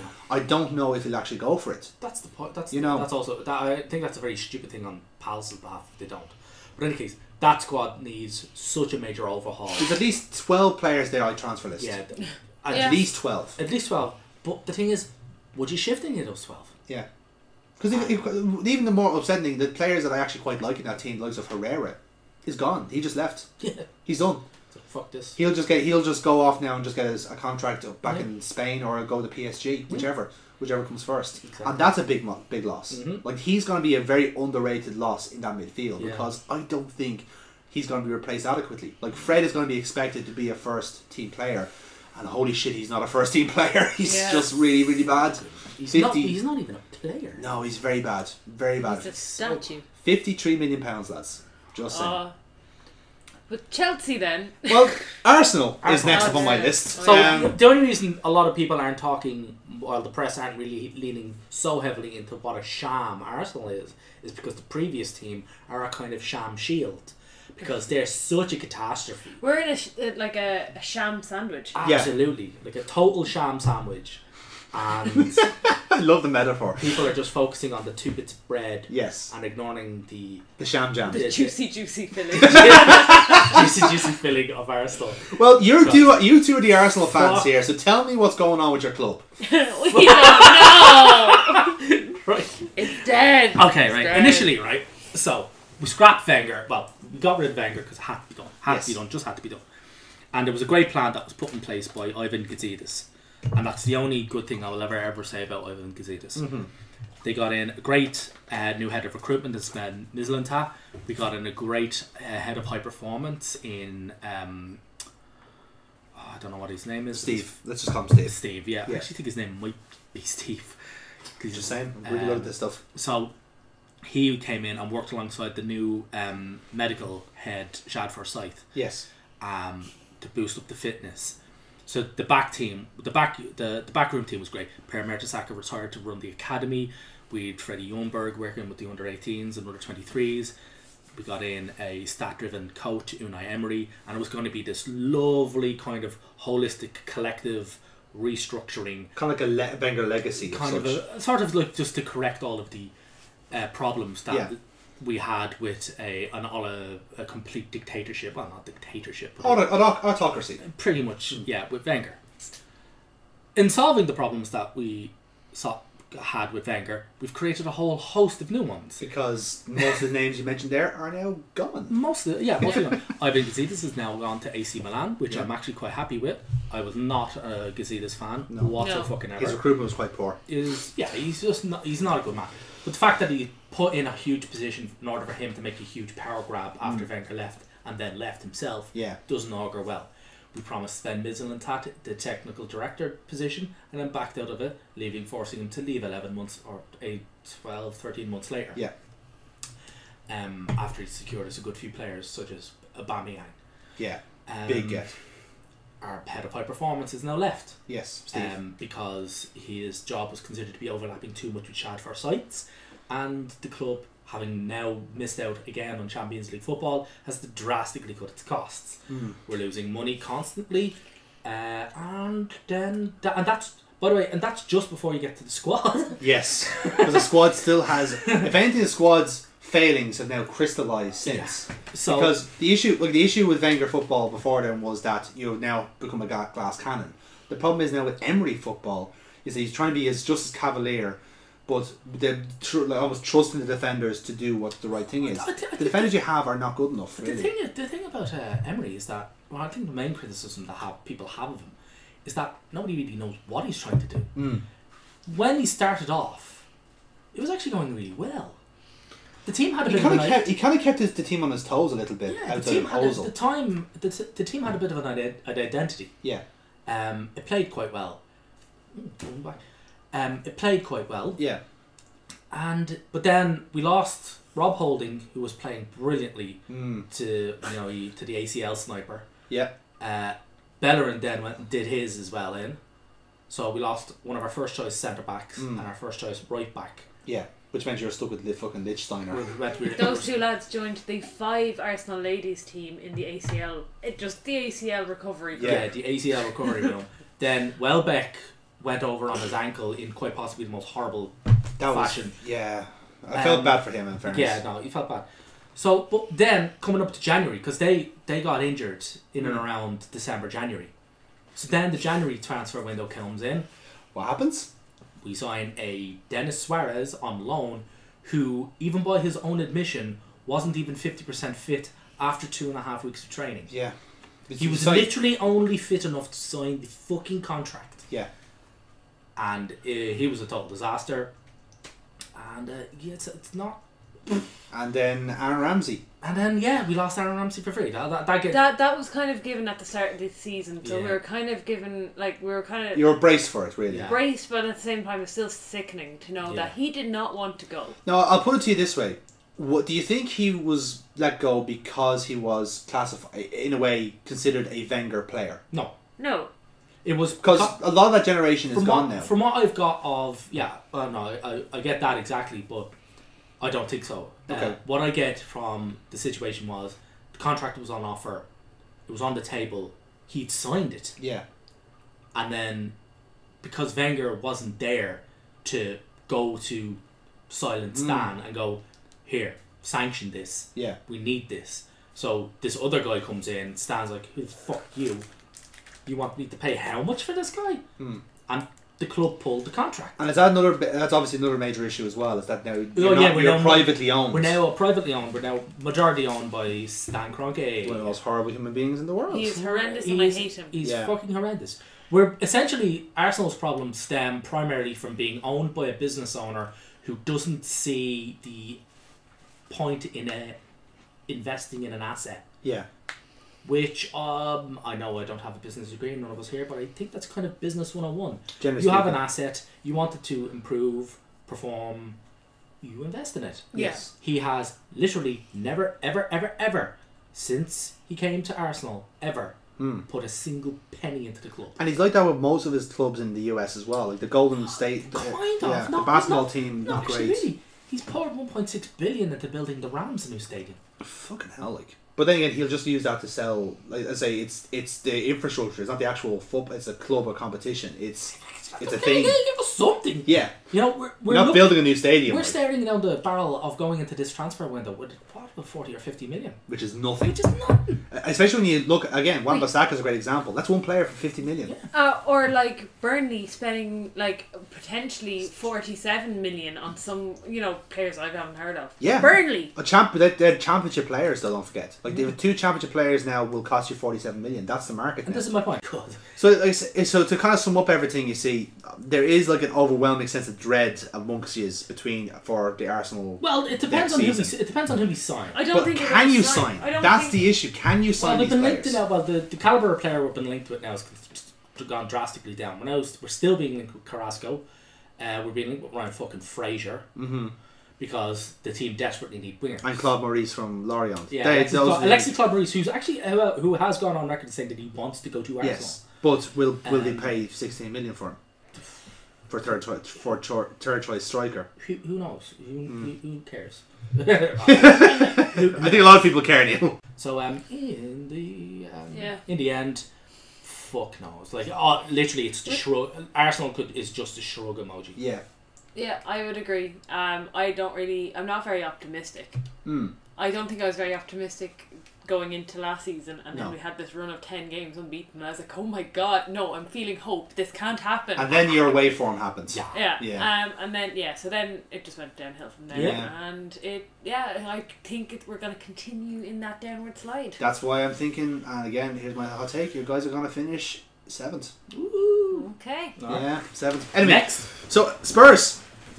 Now they've Are they they, after us? they've fourth, yeah, fourth about place. Chelsea? Chelsea finished third. oh yeah, they did. Fuck. Now Spurs made hard fucking work of that fourth place, considering that they were, in, in comparison to everyone else, they were that- well Consider that they're literally playing a card game with a deck of twelve cards. Yeah, Um, my God, that th- squad is threadbare, Mm. and I think it's only going to get more threadbare when the repayments from the stadium kick in. this is what I was trying to figure out: is that are they trying to sign players now so they don't have to sign for the next three years? And Probably. just bill, and just set That's why that they, they got everybody that they could get on the contract extensions, big Yeah. ones. They got like Ali, uh, Son, Moura. um, Moura was a recent one now. Moura, yeah. Kane. Couldn't get Eriksen to sign one, so I reckon he'll be off. He'll be gone. Yeah, yeah. Um, he's been spoiling for a move for the last two or three years now. I'll have to admit. Mm. Uh, and all the better because he's a fucking great player, and I hate when he plays for me. Or against Ireland. or against Ireland. Yeah, yes. exactly. Broke our hearts. Cunts. Um, but yeah, funny enough, in the run into the Champions League final, Yeah. they were wrecked. Yeah. That huge gap between the last game and the final, It's- I thought they benefit. I thought that was going to really harm you, Yeah. uh, Liverpool, and really benefit them because they were. I've never seen a team as shagged out before in my life. Even the Bournemouth game when they just completely lost their heads and got two of their players sent off. Oh, I think that that was was, hilarious. I think that was purely to give them a break. yeah, I know. Like when you just, oh, fuck this, I want an early shower. Yeah, Um, yeah, Pochettino weaving yet more miracles. he's with done a- brilliant. He He's- really he- has. Look, has done- look, uh, yeah, as an Arsenal supporter, you have to give the man credit to do What he's working he's with, done yeah. with that bunch of shite. But not even that, but make match winners out of Son and Moura. Like, even again, well, I was talking about Origi and how obscene that sounds. But the fact that like a team that's so focused on Harry Kane, trying to make them their Alan Shearer. You know, Alan Shearer never had a backup at Newcastle. He was always Alan Shearer. Mm. But the fact is, like, listen, I think the writing on the wall for me personally that Harry Kane is not going to last long. That whatever ankle injury he has is not healing, because whenever he comes back on, whenever he's back playing, it's a pressure injury. Like it's it's whatever the issue is, it's not curing, it's not being fixed, and he's just playing so many games for both club and country. They won't let the man have a fucking break. Oh, I'm delighted for that because every time he plays, they get worse. Well, this is my point. You now have two players that can fill in that role, and in my opinion, they've been better with those two players. no, They they're, they're, they're far, far be- better. They're far better without Kane. Yeah. far, far Just better. even the man of because movement the, they do, The threats are multiple. The Yeah. threats are coming from everywhere. and even the players like Ali actually start stepping forward When and he's, when scoring. he's in the pitch, all he do is just mark Kane. Yeah, Because why? Because all they want to do is get the ball to Kane, Mhm. and that's all they're told to do: get the ball to Kane. yeah, Maybe get that to Sterling. Uh, For England, Yes. Sterling's also an alternative threat, which is why England are so good. and They're they not as- up front. They're not as hyper reliant on Yeah. Kane as Spurs are. Spurs seemingly, sorry, Spurs have convinced themselves that they are. They aren't actually reliant. It's actually codependent. It's it's so what it's, it so, it's like yeah. somebody being hooked on a placebo. Yeah. No, that's a, that's a, it's a very good way of putting it. good way of putting it. It's a really good way of putting it it because does it does nothing for you. Yeah. Why are you taking it? but Stop! every, and, every, and everyone can see it. Like I don't know, it's probably because he's a club captain and there's an obligation to play Yeah. him. But system, like even thinking about it, like surely you can tell from performance point of view, it is better to drop him, let him heal up. Do do what we did with Henderson because what we did with Henderson, we switched him back to number six because he had a fucking bone spur in his heel. don't that think, wasn't but I don't think Kane can play in the other player's place. I, no, he can't. He's a one trick pony, No, but he's a very he is a very good pony. That's Yes, the that problem. dreaded drug placebo. So I, I mean, Spurs. I think are still going to be a decent position just by comparison that the the teams around him are going to drop I off think, so quick, I so think, much. yeah, no, that's the thing. The only reason they're up so high is because everybody else around them is such a bag of shite. Yeah. Now, Like- if, if a team like Wolves and Leicester or somewhere like, or even West Ham, I put in that category mm. potentially, just suddenly get a fucking afterburners on, it could upset Spurs. Doesn't But they're even- still going to be a top four team. It doesn't even need that. It just needs like, I know it's hilarious as this may sound. It just needs like Arsenal or maybe even Manchester United to get some modicum. of Possibly Chelsea. so, or some possibly Yeah. Chelsea. I don't, uh, they seem to feed off the chaos. Yes. To get some modicum of their shit together, Yeah. and then they're out of the top four. Yeah. Like they're, it's it's delicate like and the, only even diff- the only But the thing was, Spurs were like pushing the top two for so long, and then they completely dropped and were nearly out of the top four. yeah, Yeah. and that's what And- I was surprised at how And bad that they got. that was just like oh typical Spurs, but at the same time we could not capitalize. Like they were dropping points, We were- and we then we couldn't were going out with two games in hand. Yeah. All we have to do is win these two games, and Yeah. we've leapfrogged Spurs into the top four. I, I remember at one point we were ten to one to stay in the uh, ten to one to get top three. Yeah, I was like we were ten to one because Spurs were fucking up so because much. everybody else was such a bag of shit. And then we turned into that bag of shit. Then we decided, oh, what they're huffing must be good because look at what they're doing. They're falling all over the kip.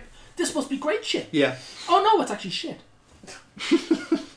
it was a it was it was a fun end to that season. I must admit, but um, No, it wasn't. no, Oh yeah, it was probably For me, yeah, it was for me anyway. But um, Chelsea then, let's move on to them. Um, what a fucking weird season for Chelsea. It, Actually, no, I'll qualify that. What a weird season for Maurizio Sarri. I, no, for I- him- I, I reckon, yeah, it's weird for Sarri because he's probably not done this before or not seen or heard of this before. Yeah. But for Chelsea, it's pretty much par for the course. It is They've sacked course, yeah. people after they've won the Champions League. They've sacked Di Matteo after he won the League Cup. And they're still paying him to this day. And the Champions League. They've paid out over 90 million pounds Yeah. to managers that they fired. Yeah, that's the bulk of their budget. yeah. and now, but now it's really set. Like you can only feast on chaos. Like it's a real reap what you sow thing. yeah, You know, and unfortunately, this particular to utilize a Johnny Cash line, uh, this whirlwind has a thorn tree in it. mm-hmm. Um, they're going into a transfer ban, almost certainly going into a two-window transfer ban. if unless they win the appeal, but I can't see. I don't see them winning, No, it's the, a- winning it's- the appeal. Yeah, Um, they've lost their manager. Uh, they've lost their best player. mm-hmm. They've managed to sign some fuck. They've managed to sign Pulisic. Yeah, uh, which I purely think Dortmund sold to him just to stop him from getting because he'd been. spent. that was the best deal. Mu- Dortmund Munich had spent the entire like Yeah. last two seasons basically grooming him. essentially yes. uh, so they're not going to be able to sign anybody. Yeah, They've lost their best player. mm-hmm. That team's starting to come apart in fringes. It's Yes. really starting to come apart. Willian isn't the gone, wing. gone quite old Yeah, actually. Willian yeah. isn't the force that he is anymore. David Luiz seems to be more seems to be acting more like Joe Bob than he usually does. Mm. Um, Kepa Kepa isn't the fucking brick wall that he seems to be anymore. He's I, I don't think he's ever been that brick wall. no, really. he's not. He's but the cat like reflexes now are starting to. He's starting to do a bit of a De Gea. Yes, Um, so the defense is fucked. The midfield without Hazard isn't even going to be half of what it is. and half the team aren't even playing Um, because it's and as far as Yeah. like, as far as strikers, they've Hmm. on the day on the DL given Giroud a one year extension Yeah. as a kind of because they know if they publicly give him a one year extension because nobody wants him at the club despite the fact he's their best outright best best forward. Yeah, Um, because if they don't if they publicly give him an extension, it will be basically a tacit admission that they're getting the transfer ban. yeah. They just had to batten in the hatches. and so sense. like they're they're really just kind of going like full doomsday yeah, doomsday packers like going yeah. they're just got. They're going into the Yeah, they're all the supplies. yeah. But I the- think they're going to be yeah. relying on their youth academy. They have we've, to. We've been They've got making so fun, many of them. like the lone farm of Chelsea that like we've s- 40, spoken about. 45 players. Yeah, but they, I don't know how many other players will have to be sold to Yeah, but to balance to balance the books. Mm-hmm. yeah, like but then again, it's- they've got Champions League football next season. That's you it. know, Sure, yeah. that's the thing that, that that helps out a lot.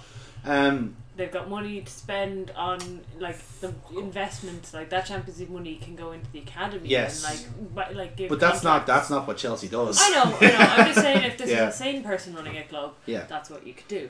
Now, But the thing, like we said, Chelsea thrive on The chaos, and like the build up to the Ch- the Europa League Mm. was pu- that was pure chaos. yeah, because it was I Sarri was going kinda mental going and shit like- like that.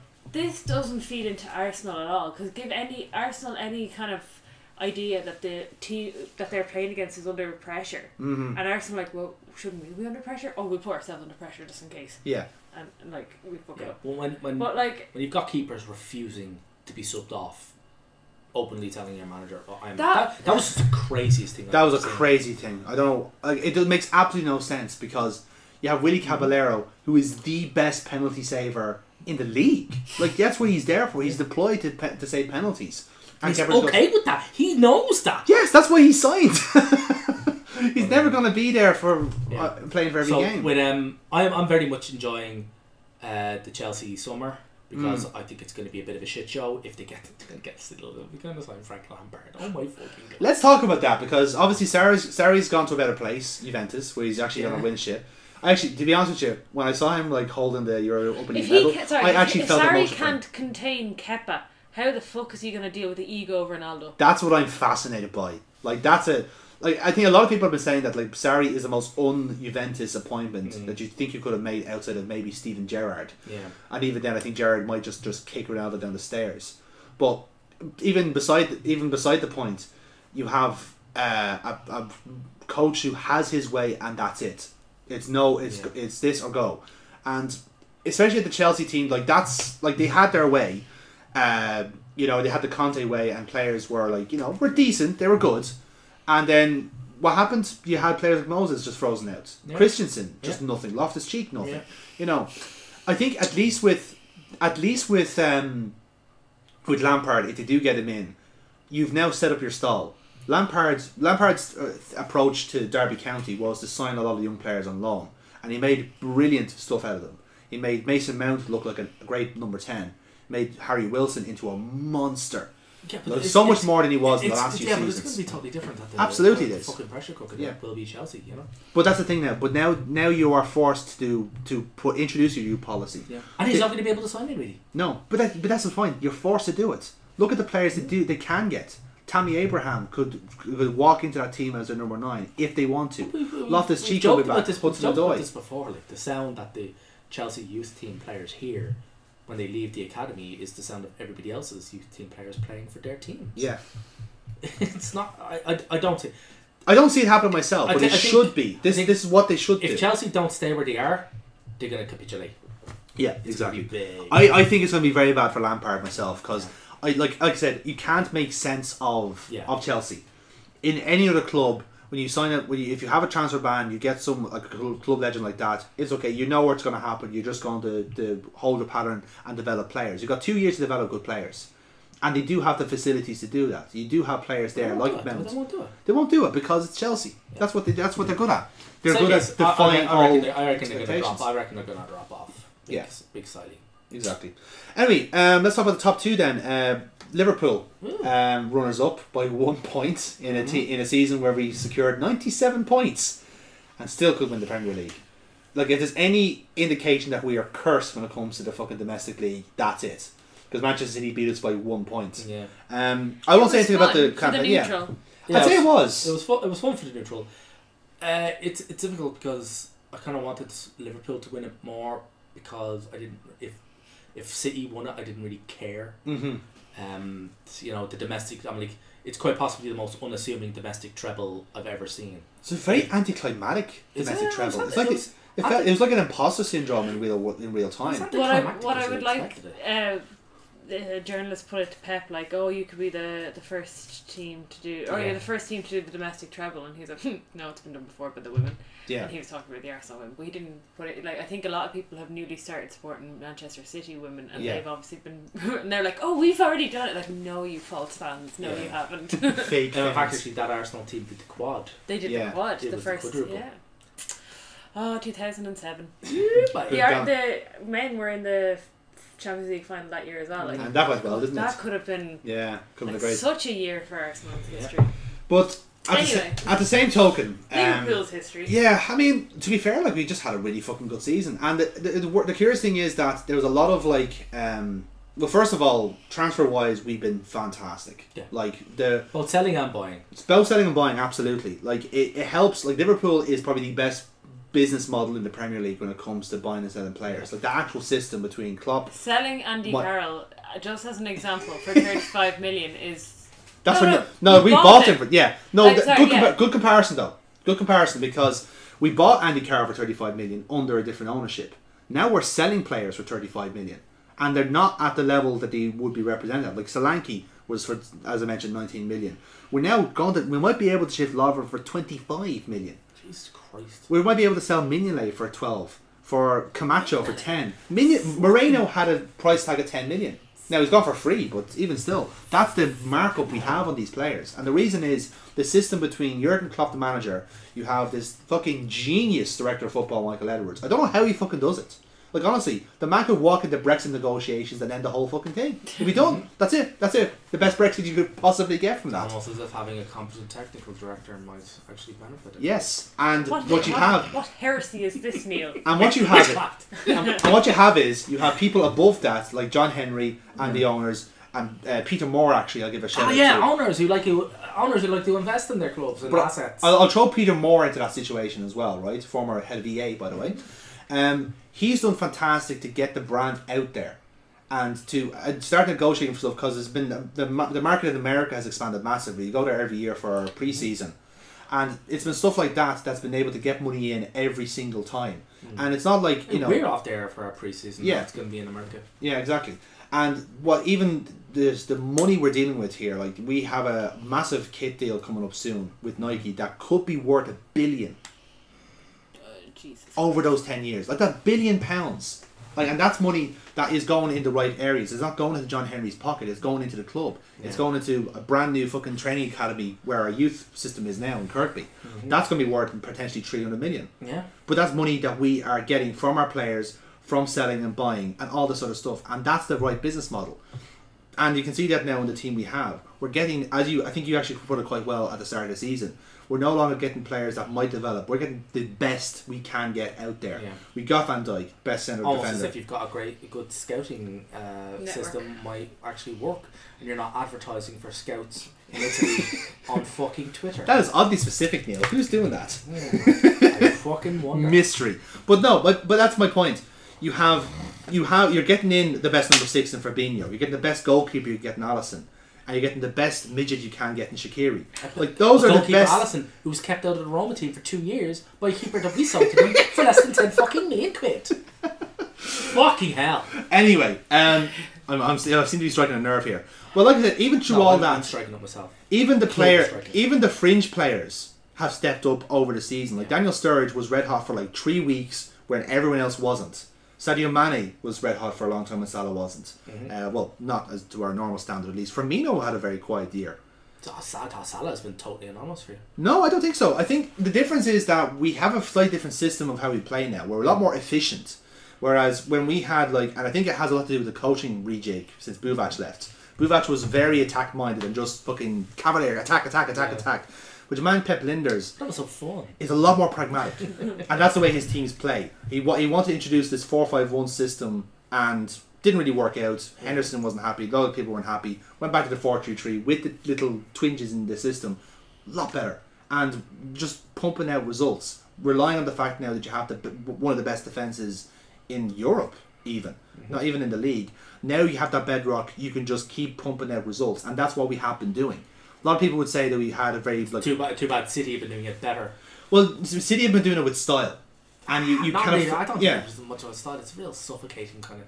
It's not even much fun to watch them play. No, not It's not, not towards the end of the season because it was just inevitable. Yeah, Passing. I mean, I wouldn't even mind, but they got such wonderful fucking players. Like, Mm. I think actually one of my players of the season probably would be Bernardo. oh, absolutely, Bernardo. He was Uh, fantastic. Sil- Bernardo He Silva. won that game between us and Liverpool. Yeah. He won single handedly Yeah. Bernardo he ran those- everywhere. He's one of those players that's so talented at football, it actually makes me kind of angry. Yeah, but he's so underrated in that team though. When you look He's at so it. underrated yeah, that team because he's so many literally superstars. a player that can kind of do almost everything. Yeah. You kind of reckon if he was like half a foot taller, he'd be really good in goal as well. Yes, exactly.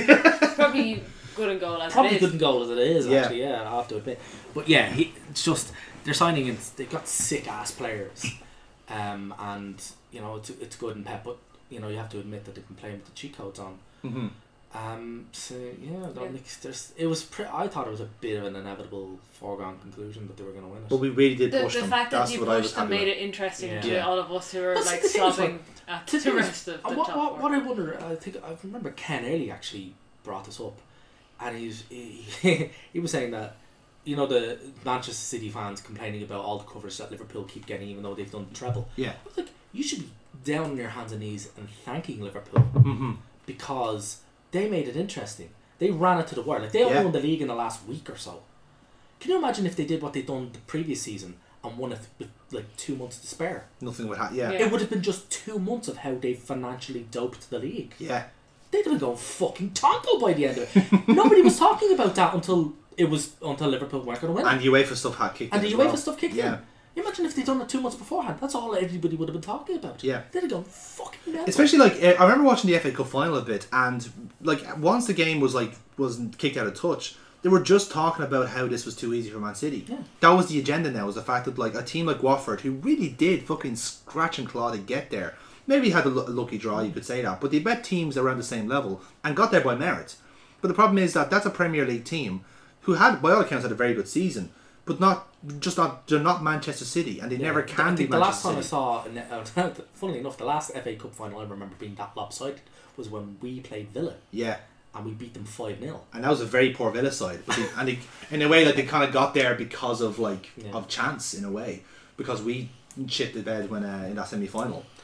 But uh, no, it's it's tainted for them. I mean, they don't care about. Well, Pep sure as hell don't. Pep care. really needs to win the Champions League. Just Well, even that's all he cares about. Yeah, He's obsessed with it because he only ever well, he's only ever won it twice, yeah. and that's with arguably the best team to have ever existed. In Yeah. Bar- that Barcelona squad. And he can't get around the fact he can't do it anywhere else. Can't do it Yeah. anywhere else. Yeah, that's the thing. So I think like so, I get the feeling it's gonna be more the same next year. Yeah. I think it's gonna be like a fucking Yeah.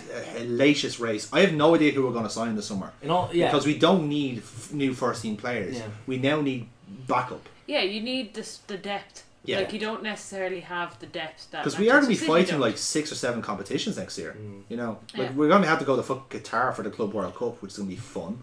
And then that, right at, into that, then we'll have like some pretty big deal fixtures in a. and you're gonna be in start- December. You're gonna be starting off in Istanbul with the Super Cup. Yeah, that's going to be well. That's a nice little uh, tip of the hat, isn't it? But and in a way, like we are now the remit for us now is going to be different. We, it is now going to be expected of us to win something every year. Yeah. And Ronnie Whelan put that very very well during the title celebrations. Kept a very clear head and listen. It was like this this Champions League win is now the start. Yeah. This is this is your golden age. This is your time to shine. You have to either keep retain that title. A Liverpool fan about to say this is our year. No, but what I say is it is now No. it is now expected of us I would never to say at that. least win. No, because you never do. That's when that's what happens. If you say that phrase, it's like It's when off. it's like when English player English fans say it's coming home. It's not going to come home. Mm. We'll say it ironically to jinx you. That's how it works. but I mean, his point was you now have to win something every year. That is your priority. Whether it be League Cup, FA Cup, Champions League, Premier League, Community Shield, we'll take fucking anything. But you have to win every something every year. Yeah. That is what's expected of you now. And that's the and that's the issue that Man City has now. We're going to be fighting them on potentially five fronts. Yeah. So Um, I think it's going to be more the same. I think next season is going to be more defined by failures than yeah, by success. I think so too. Yeah. because that's the only thing that's made this season even remotely interesting was how much of a failure a lot of people were. It's going to be a real shit posting year next year, I think. The memes, The memes. memes are going to be Memes. Jack. We have another segment um, that uh, I actually quite like, uh, primarily because of the name of it. It's called Hand of Cod. Yes. Um, I'm also going to here I will be splicing in sound bites from Eamon Dunphy, just so that people get the point. Cod. No, So- Card. no. No, It's a cod, no, Bill. no, you're wrong, Bill. This fella Ronaldo is a cod. I don't care Ah, if but he it- scores. but- but you can't if he scores, that, I'm all telling you, scores this was got. a big match. If he scores a thousand goals in the Premier League season, to go out and behave himself in a big match, in a semi-final, the way he behaved himself tonight, right up to the final seconds of the match, he was diving, pretending he was pushed, throwing his hands up in the air with cutaway shots of him there. He's a disgrace. He's a disgrace to the game. Ah, that's putting it too That's strongly my. altogether. Hold on a minute. So this Stage segment, door, John. This segment is dedicated to the general incompetency of the football world, where we, all one of us, all three of us, sheer callousness. sure counts. It is a very wide scope, in fairness. But we basically, Basically, have to pick, dickheads of yeah, the week. Dickheads of the week, yeah. Um, we all come forward with one person that got on our week uh, this well this past fortnight, I guess, and uh, we then decide who is the coddest of them all. Absolutely. So uh, I'm going to start off because everyone's getting their notes um, with a little man called Martin Tyler. now, I made the very unfortunate decision of watching the Switzerland versus England Nations League match that did really matter because you need to find out who's in third place. Because if you don't, I mean, no one will ever know. Um, How can you then define first and second? Indeed. Now the issue with that is um, that game was really really bad. It was really boring. Nothing much was happening because everyone was tired and wanted to go to bed, and also wanted to go on holiday, which I think we can all sympathise with in some Yes. level. But Martin Tyler, in his eternal wisdom, to try and basically fill air because for whatever the commentary was weird for this game by the way because they were going full into like national rhetoric. They were really bigging up England. I think it's because like Sky Sports never really do national games, so they kind of overdo it then with the whole like you know table thumping rhetoric when they actually do watch England games. And Martin Tyler um, puts forward a question about Trent Alexander Arnold, who in my opinion has had a fantastic season. I mean, we Yeah. all remember That's the yeah. corner against The Barcelona corner against- that, yeah. that that tricked essentially f- the best one of the best teams in the world. Um, has had a brilliant season, Mm-hmm. but he asked the question: Is Trent Alexander-Arnold defensively good enough for the England team? What the fuck? Now, granted, his argument was that he was 20 years old, right? But even I think even Gary Neville, you could even see you know that scene in, in Family Guy where like Brian says upside down. you made you made that statement. Now, I think his argument was that he was twenty years old. How Yes. is that any better? No, uh, this is what I'm getting to. I think even Gary Neville was looking at him just going like, "You what, mate?" Yeah. just like the biggest one since Jamie Mark, Vardy. have you gone off your meds again? But you know like how in that, that scene in Family Guy where like Yeah. Brian says upside down face by accident and Oh, Stewie just goes complete head tilt. Yeah, that with Gary Neville essentially. Because even Gary Neville went, well, yeah, yeah, he's good enough. like. He's just won the Champions League. As a, and that's what Gary. That's what Neville says. Like he won the Champions League, and so, like, and every Liverpool fan immediately hopped on Martin Tyler, and rightfully so. Because Yeah. I've, I think myself and other Liverpool fans have always had the theory that he's a secret Man United fan, and Is it even much of a secret? It's not even a. it's not really a secret, I suppose, but uh, it comes out every now and then, and that was one indication of it. Because of course he's defensively good enough for the England team. He's keeping fucking Kyle Walker and Kieran Trippier out, Uh, who Kyle are Walker, yeah. who are yeah I know, but they're bigged up as good right backs for England. It's like, well, if he's if he's now in the England side and has just been the best player on the pitch in that I game, mean Trippier, who was once I once actually heard him being described as England's World Cup hero. yes, he is England's World Cup hero. He scored the, he scored a free kick. Actually, actually did Jesus actually Christ. did actually read that in a paper of record, Someone wrote that down and meant it. and it got past an editor. Yes. and a sub editor. Uh, so yes, yeah. my my Yeah. domination for cod of the week uh, is Martin Tyler Strong for contender. asking a really stupid question. Yeah. that's- Neil, I think you have a fun one for us. I do, I did. I have the AFA, The Argentinian FA. the Argentine FA, for their treatment of the women's team. Mentioned how much of a miracle it was that they actually even acted this, Mm-hmm. but I'll delve right into their, mm, shall we say, hilariously almost Irish attitudes to women. Yes. Um, in the run up to the Russian World Cup for the men, they published pamphlets and delivered them out on how to pick up Russian women. yes, they had taken. They've had a shocking. Then, then we'll get on to the shocking neglect and outright hostility towards the women's team. Pointed out already, many clubs in South America charge women to play. Um, a lot of the Argentine women's players aren't members of the footballers' union because they aren't recognised as professionals even though that might be all they do. Well, they can't really be recognised as professionals because the wages that they're given, if any are paid, You can't live on them. can't live on them. Yes. Uh, one player actually, Macarena Sanchez, actually sued them just to be recognised as a professional. Um, they missed out on the after missing out on the 2015 World Cup. They were basically the whole team was just disbanded. Yeah. They were ranked as unranked by FIFA. The head coach was sacked, not replaced. They went on strike as well for mm-hmm. demands. Their wage demands were whopping eight fifty dollars a day for training and match days, along with Disgusting. along with training staff and matches. This was refused. that was refused. Refuse minimum wage. And the AFA instead fielded the under 23s against Uruguay instead of the women's team. and so they've only they've decided to turn the tables and turn their attitudes around by helping out eight players with one year contracts Mm-hmm. for three hundred and thirty dollars a month. It's a heartwarming story. Yes, it's a heartwarming story of misogyny and bigotry, and I fucking just like And I believe in a similar vein, Rachel, what's your cod of the week? My con of the week are the men and I'm saying this. Generally, they are men of Twitter, Yes, um, complaining about the Women's World Cup. The Gammon squad. Um, so one, I just have a tweet here. You asked me to prepare Yes, please do. I- I- golden nuggets. Yes, Um, gammon nuggets more like. Sure, I'll give his Twitter handle at Andy Pearson sixty eight. Uh, try to watch women's football emoji. Managed thirty minutes and just being honest, totally bored. Z Z Z Z. Not doubting some have great technical ability. It's just so pedestrian. Yeah, anybody because anybody who watched the Champions League or Europa League finals exactly. wouldn't have thought that. Well, Um, just uh, just for context, by the way, because I am I'm slightly a newcomer to women's football. Uh, I'm actively trying to give it a go this time with the World Cup and that. Um, I fell asleep during one of the World Cup games in the men's competition. It was Peru versus Switzerland, and that was a fucking terrible game. And also, by the way, on his Twitter handle, I guarantee you that the 69 was actually taken. Taken. Yeah. that- So take that, Andy. Full of shit, mate. Um, in fairness, uh, Matt Drury 4 got on to say, We all know you've said it so many times, Andy. It's so shit, I don't think I'll bother watching my daughter play tomorrow. Fucking hell. Uh, then someone else replying there, I actually don't have, I blocked off his Twitter handle because uh, the way I screenshotted it. But uh, the media trying to give it the big sell doesn't help. I'm a big fan of grassroots and football for all, but watching the USA whoop, whooping as they uh, bet Thailand 13 0 was the end of my interest in it. It was like the one game that was a landslide victory.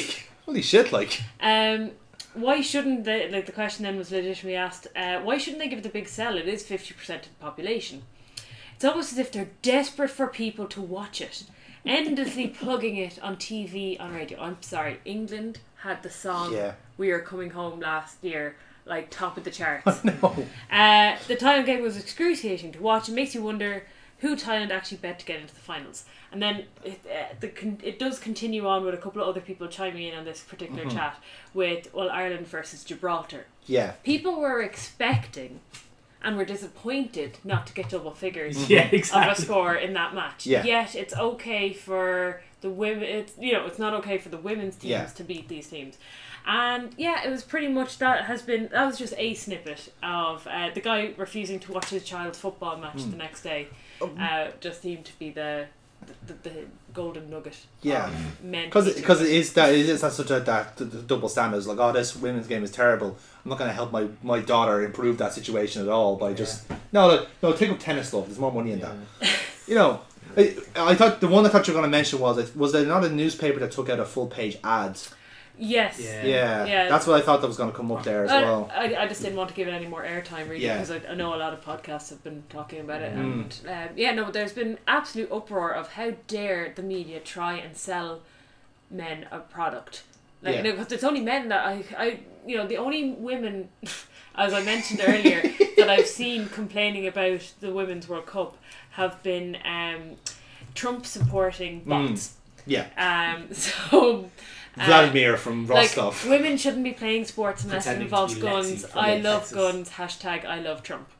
Uh, so uh, yeah, no, that's just like I know I'm in a Twitter bubble myself, but that seemed to leak through. That that that thread of Hmm. misogyny leaked through. So um, yeah, that would be my cod of the week or hand of cod. Yes, but yeah. Now we have to decide who wins the hand of cod. Ah, I'll go with the fuck. Not to won't stop. Goddamn complaining about the fucking women's World Cup. Gammon Brigade. Yeah, I, I'd actually be in favour of the Gammon Brigade as well Yeah. because, like, it's just there's a time and place for everything, lads. You know, like, it's And- it is it, yeah, it is and a that good- is- and that is when you're dead. Well, not even that, right? But I'm in a way like a perfect example of this because I watched some of the last World Cup and was kind of disappointed with some of the standards because there like there was there was four or five really good teams.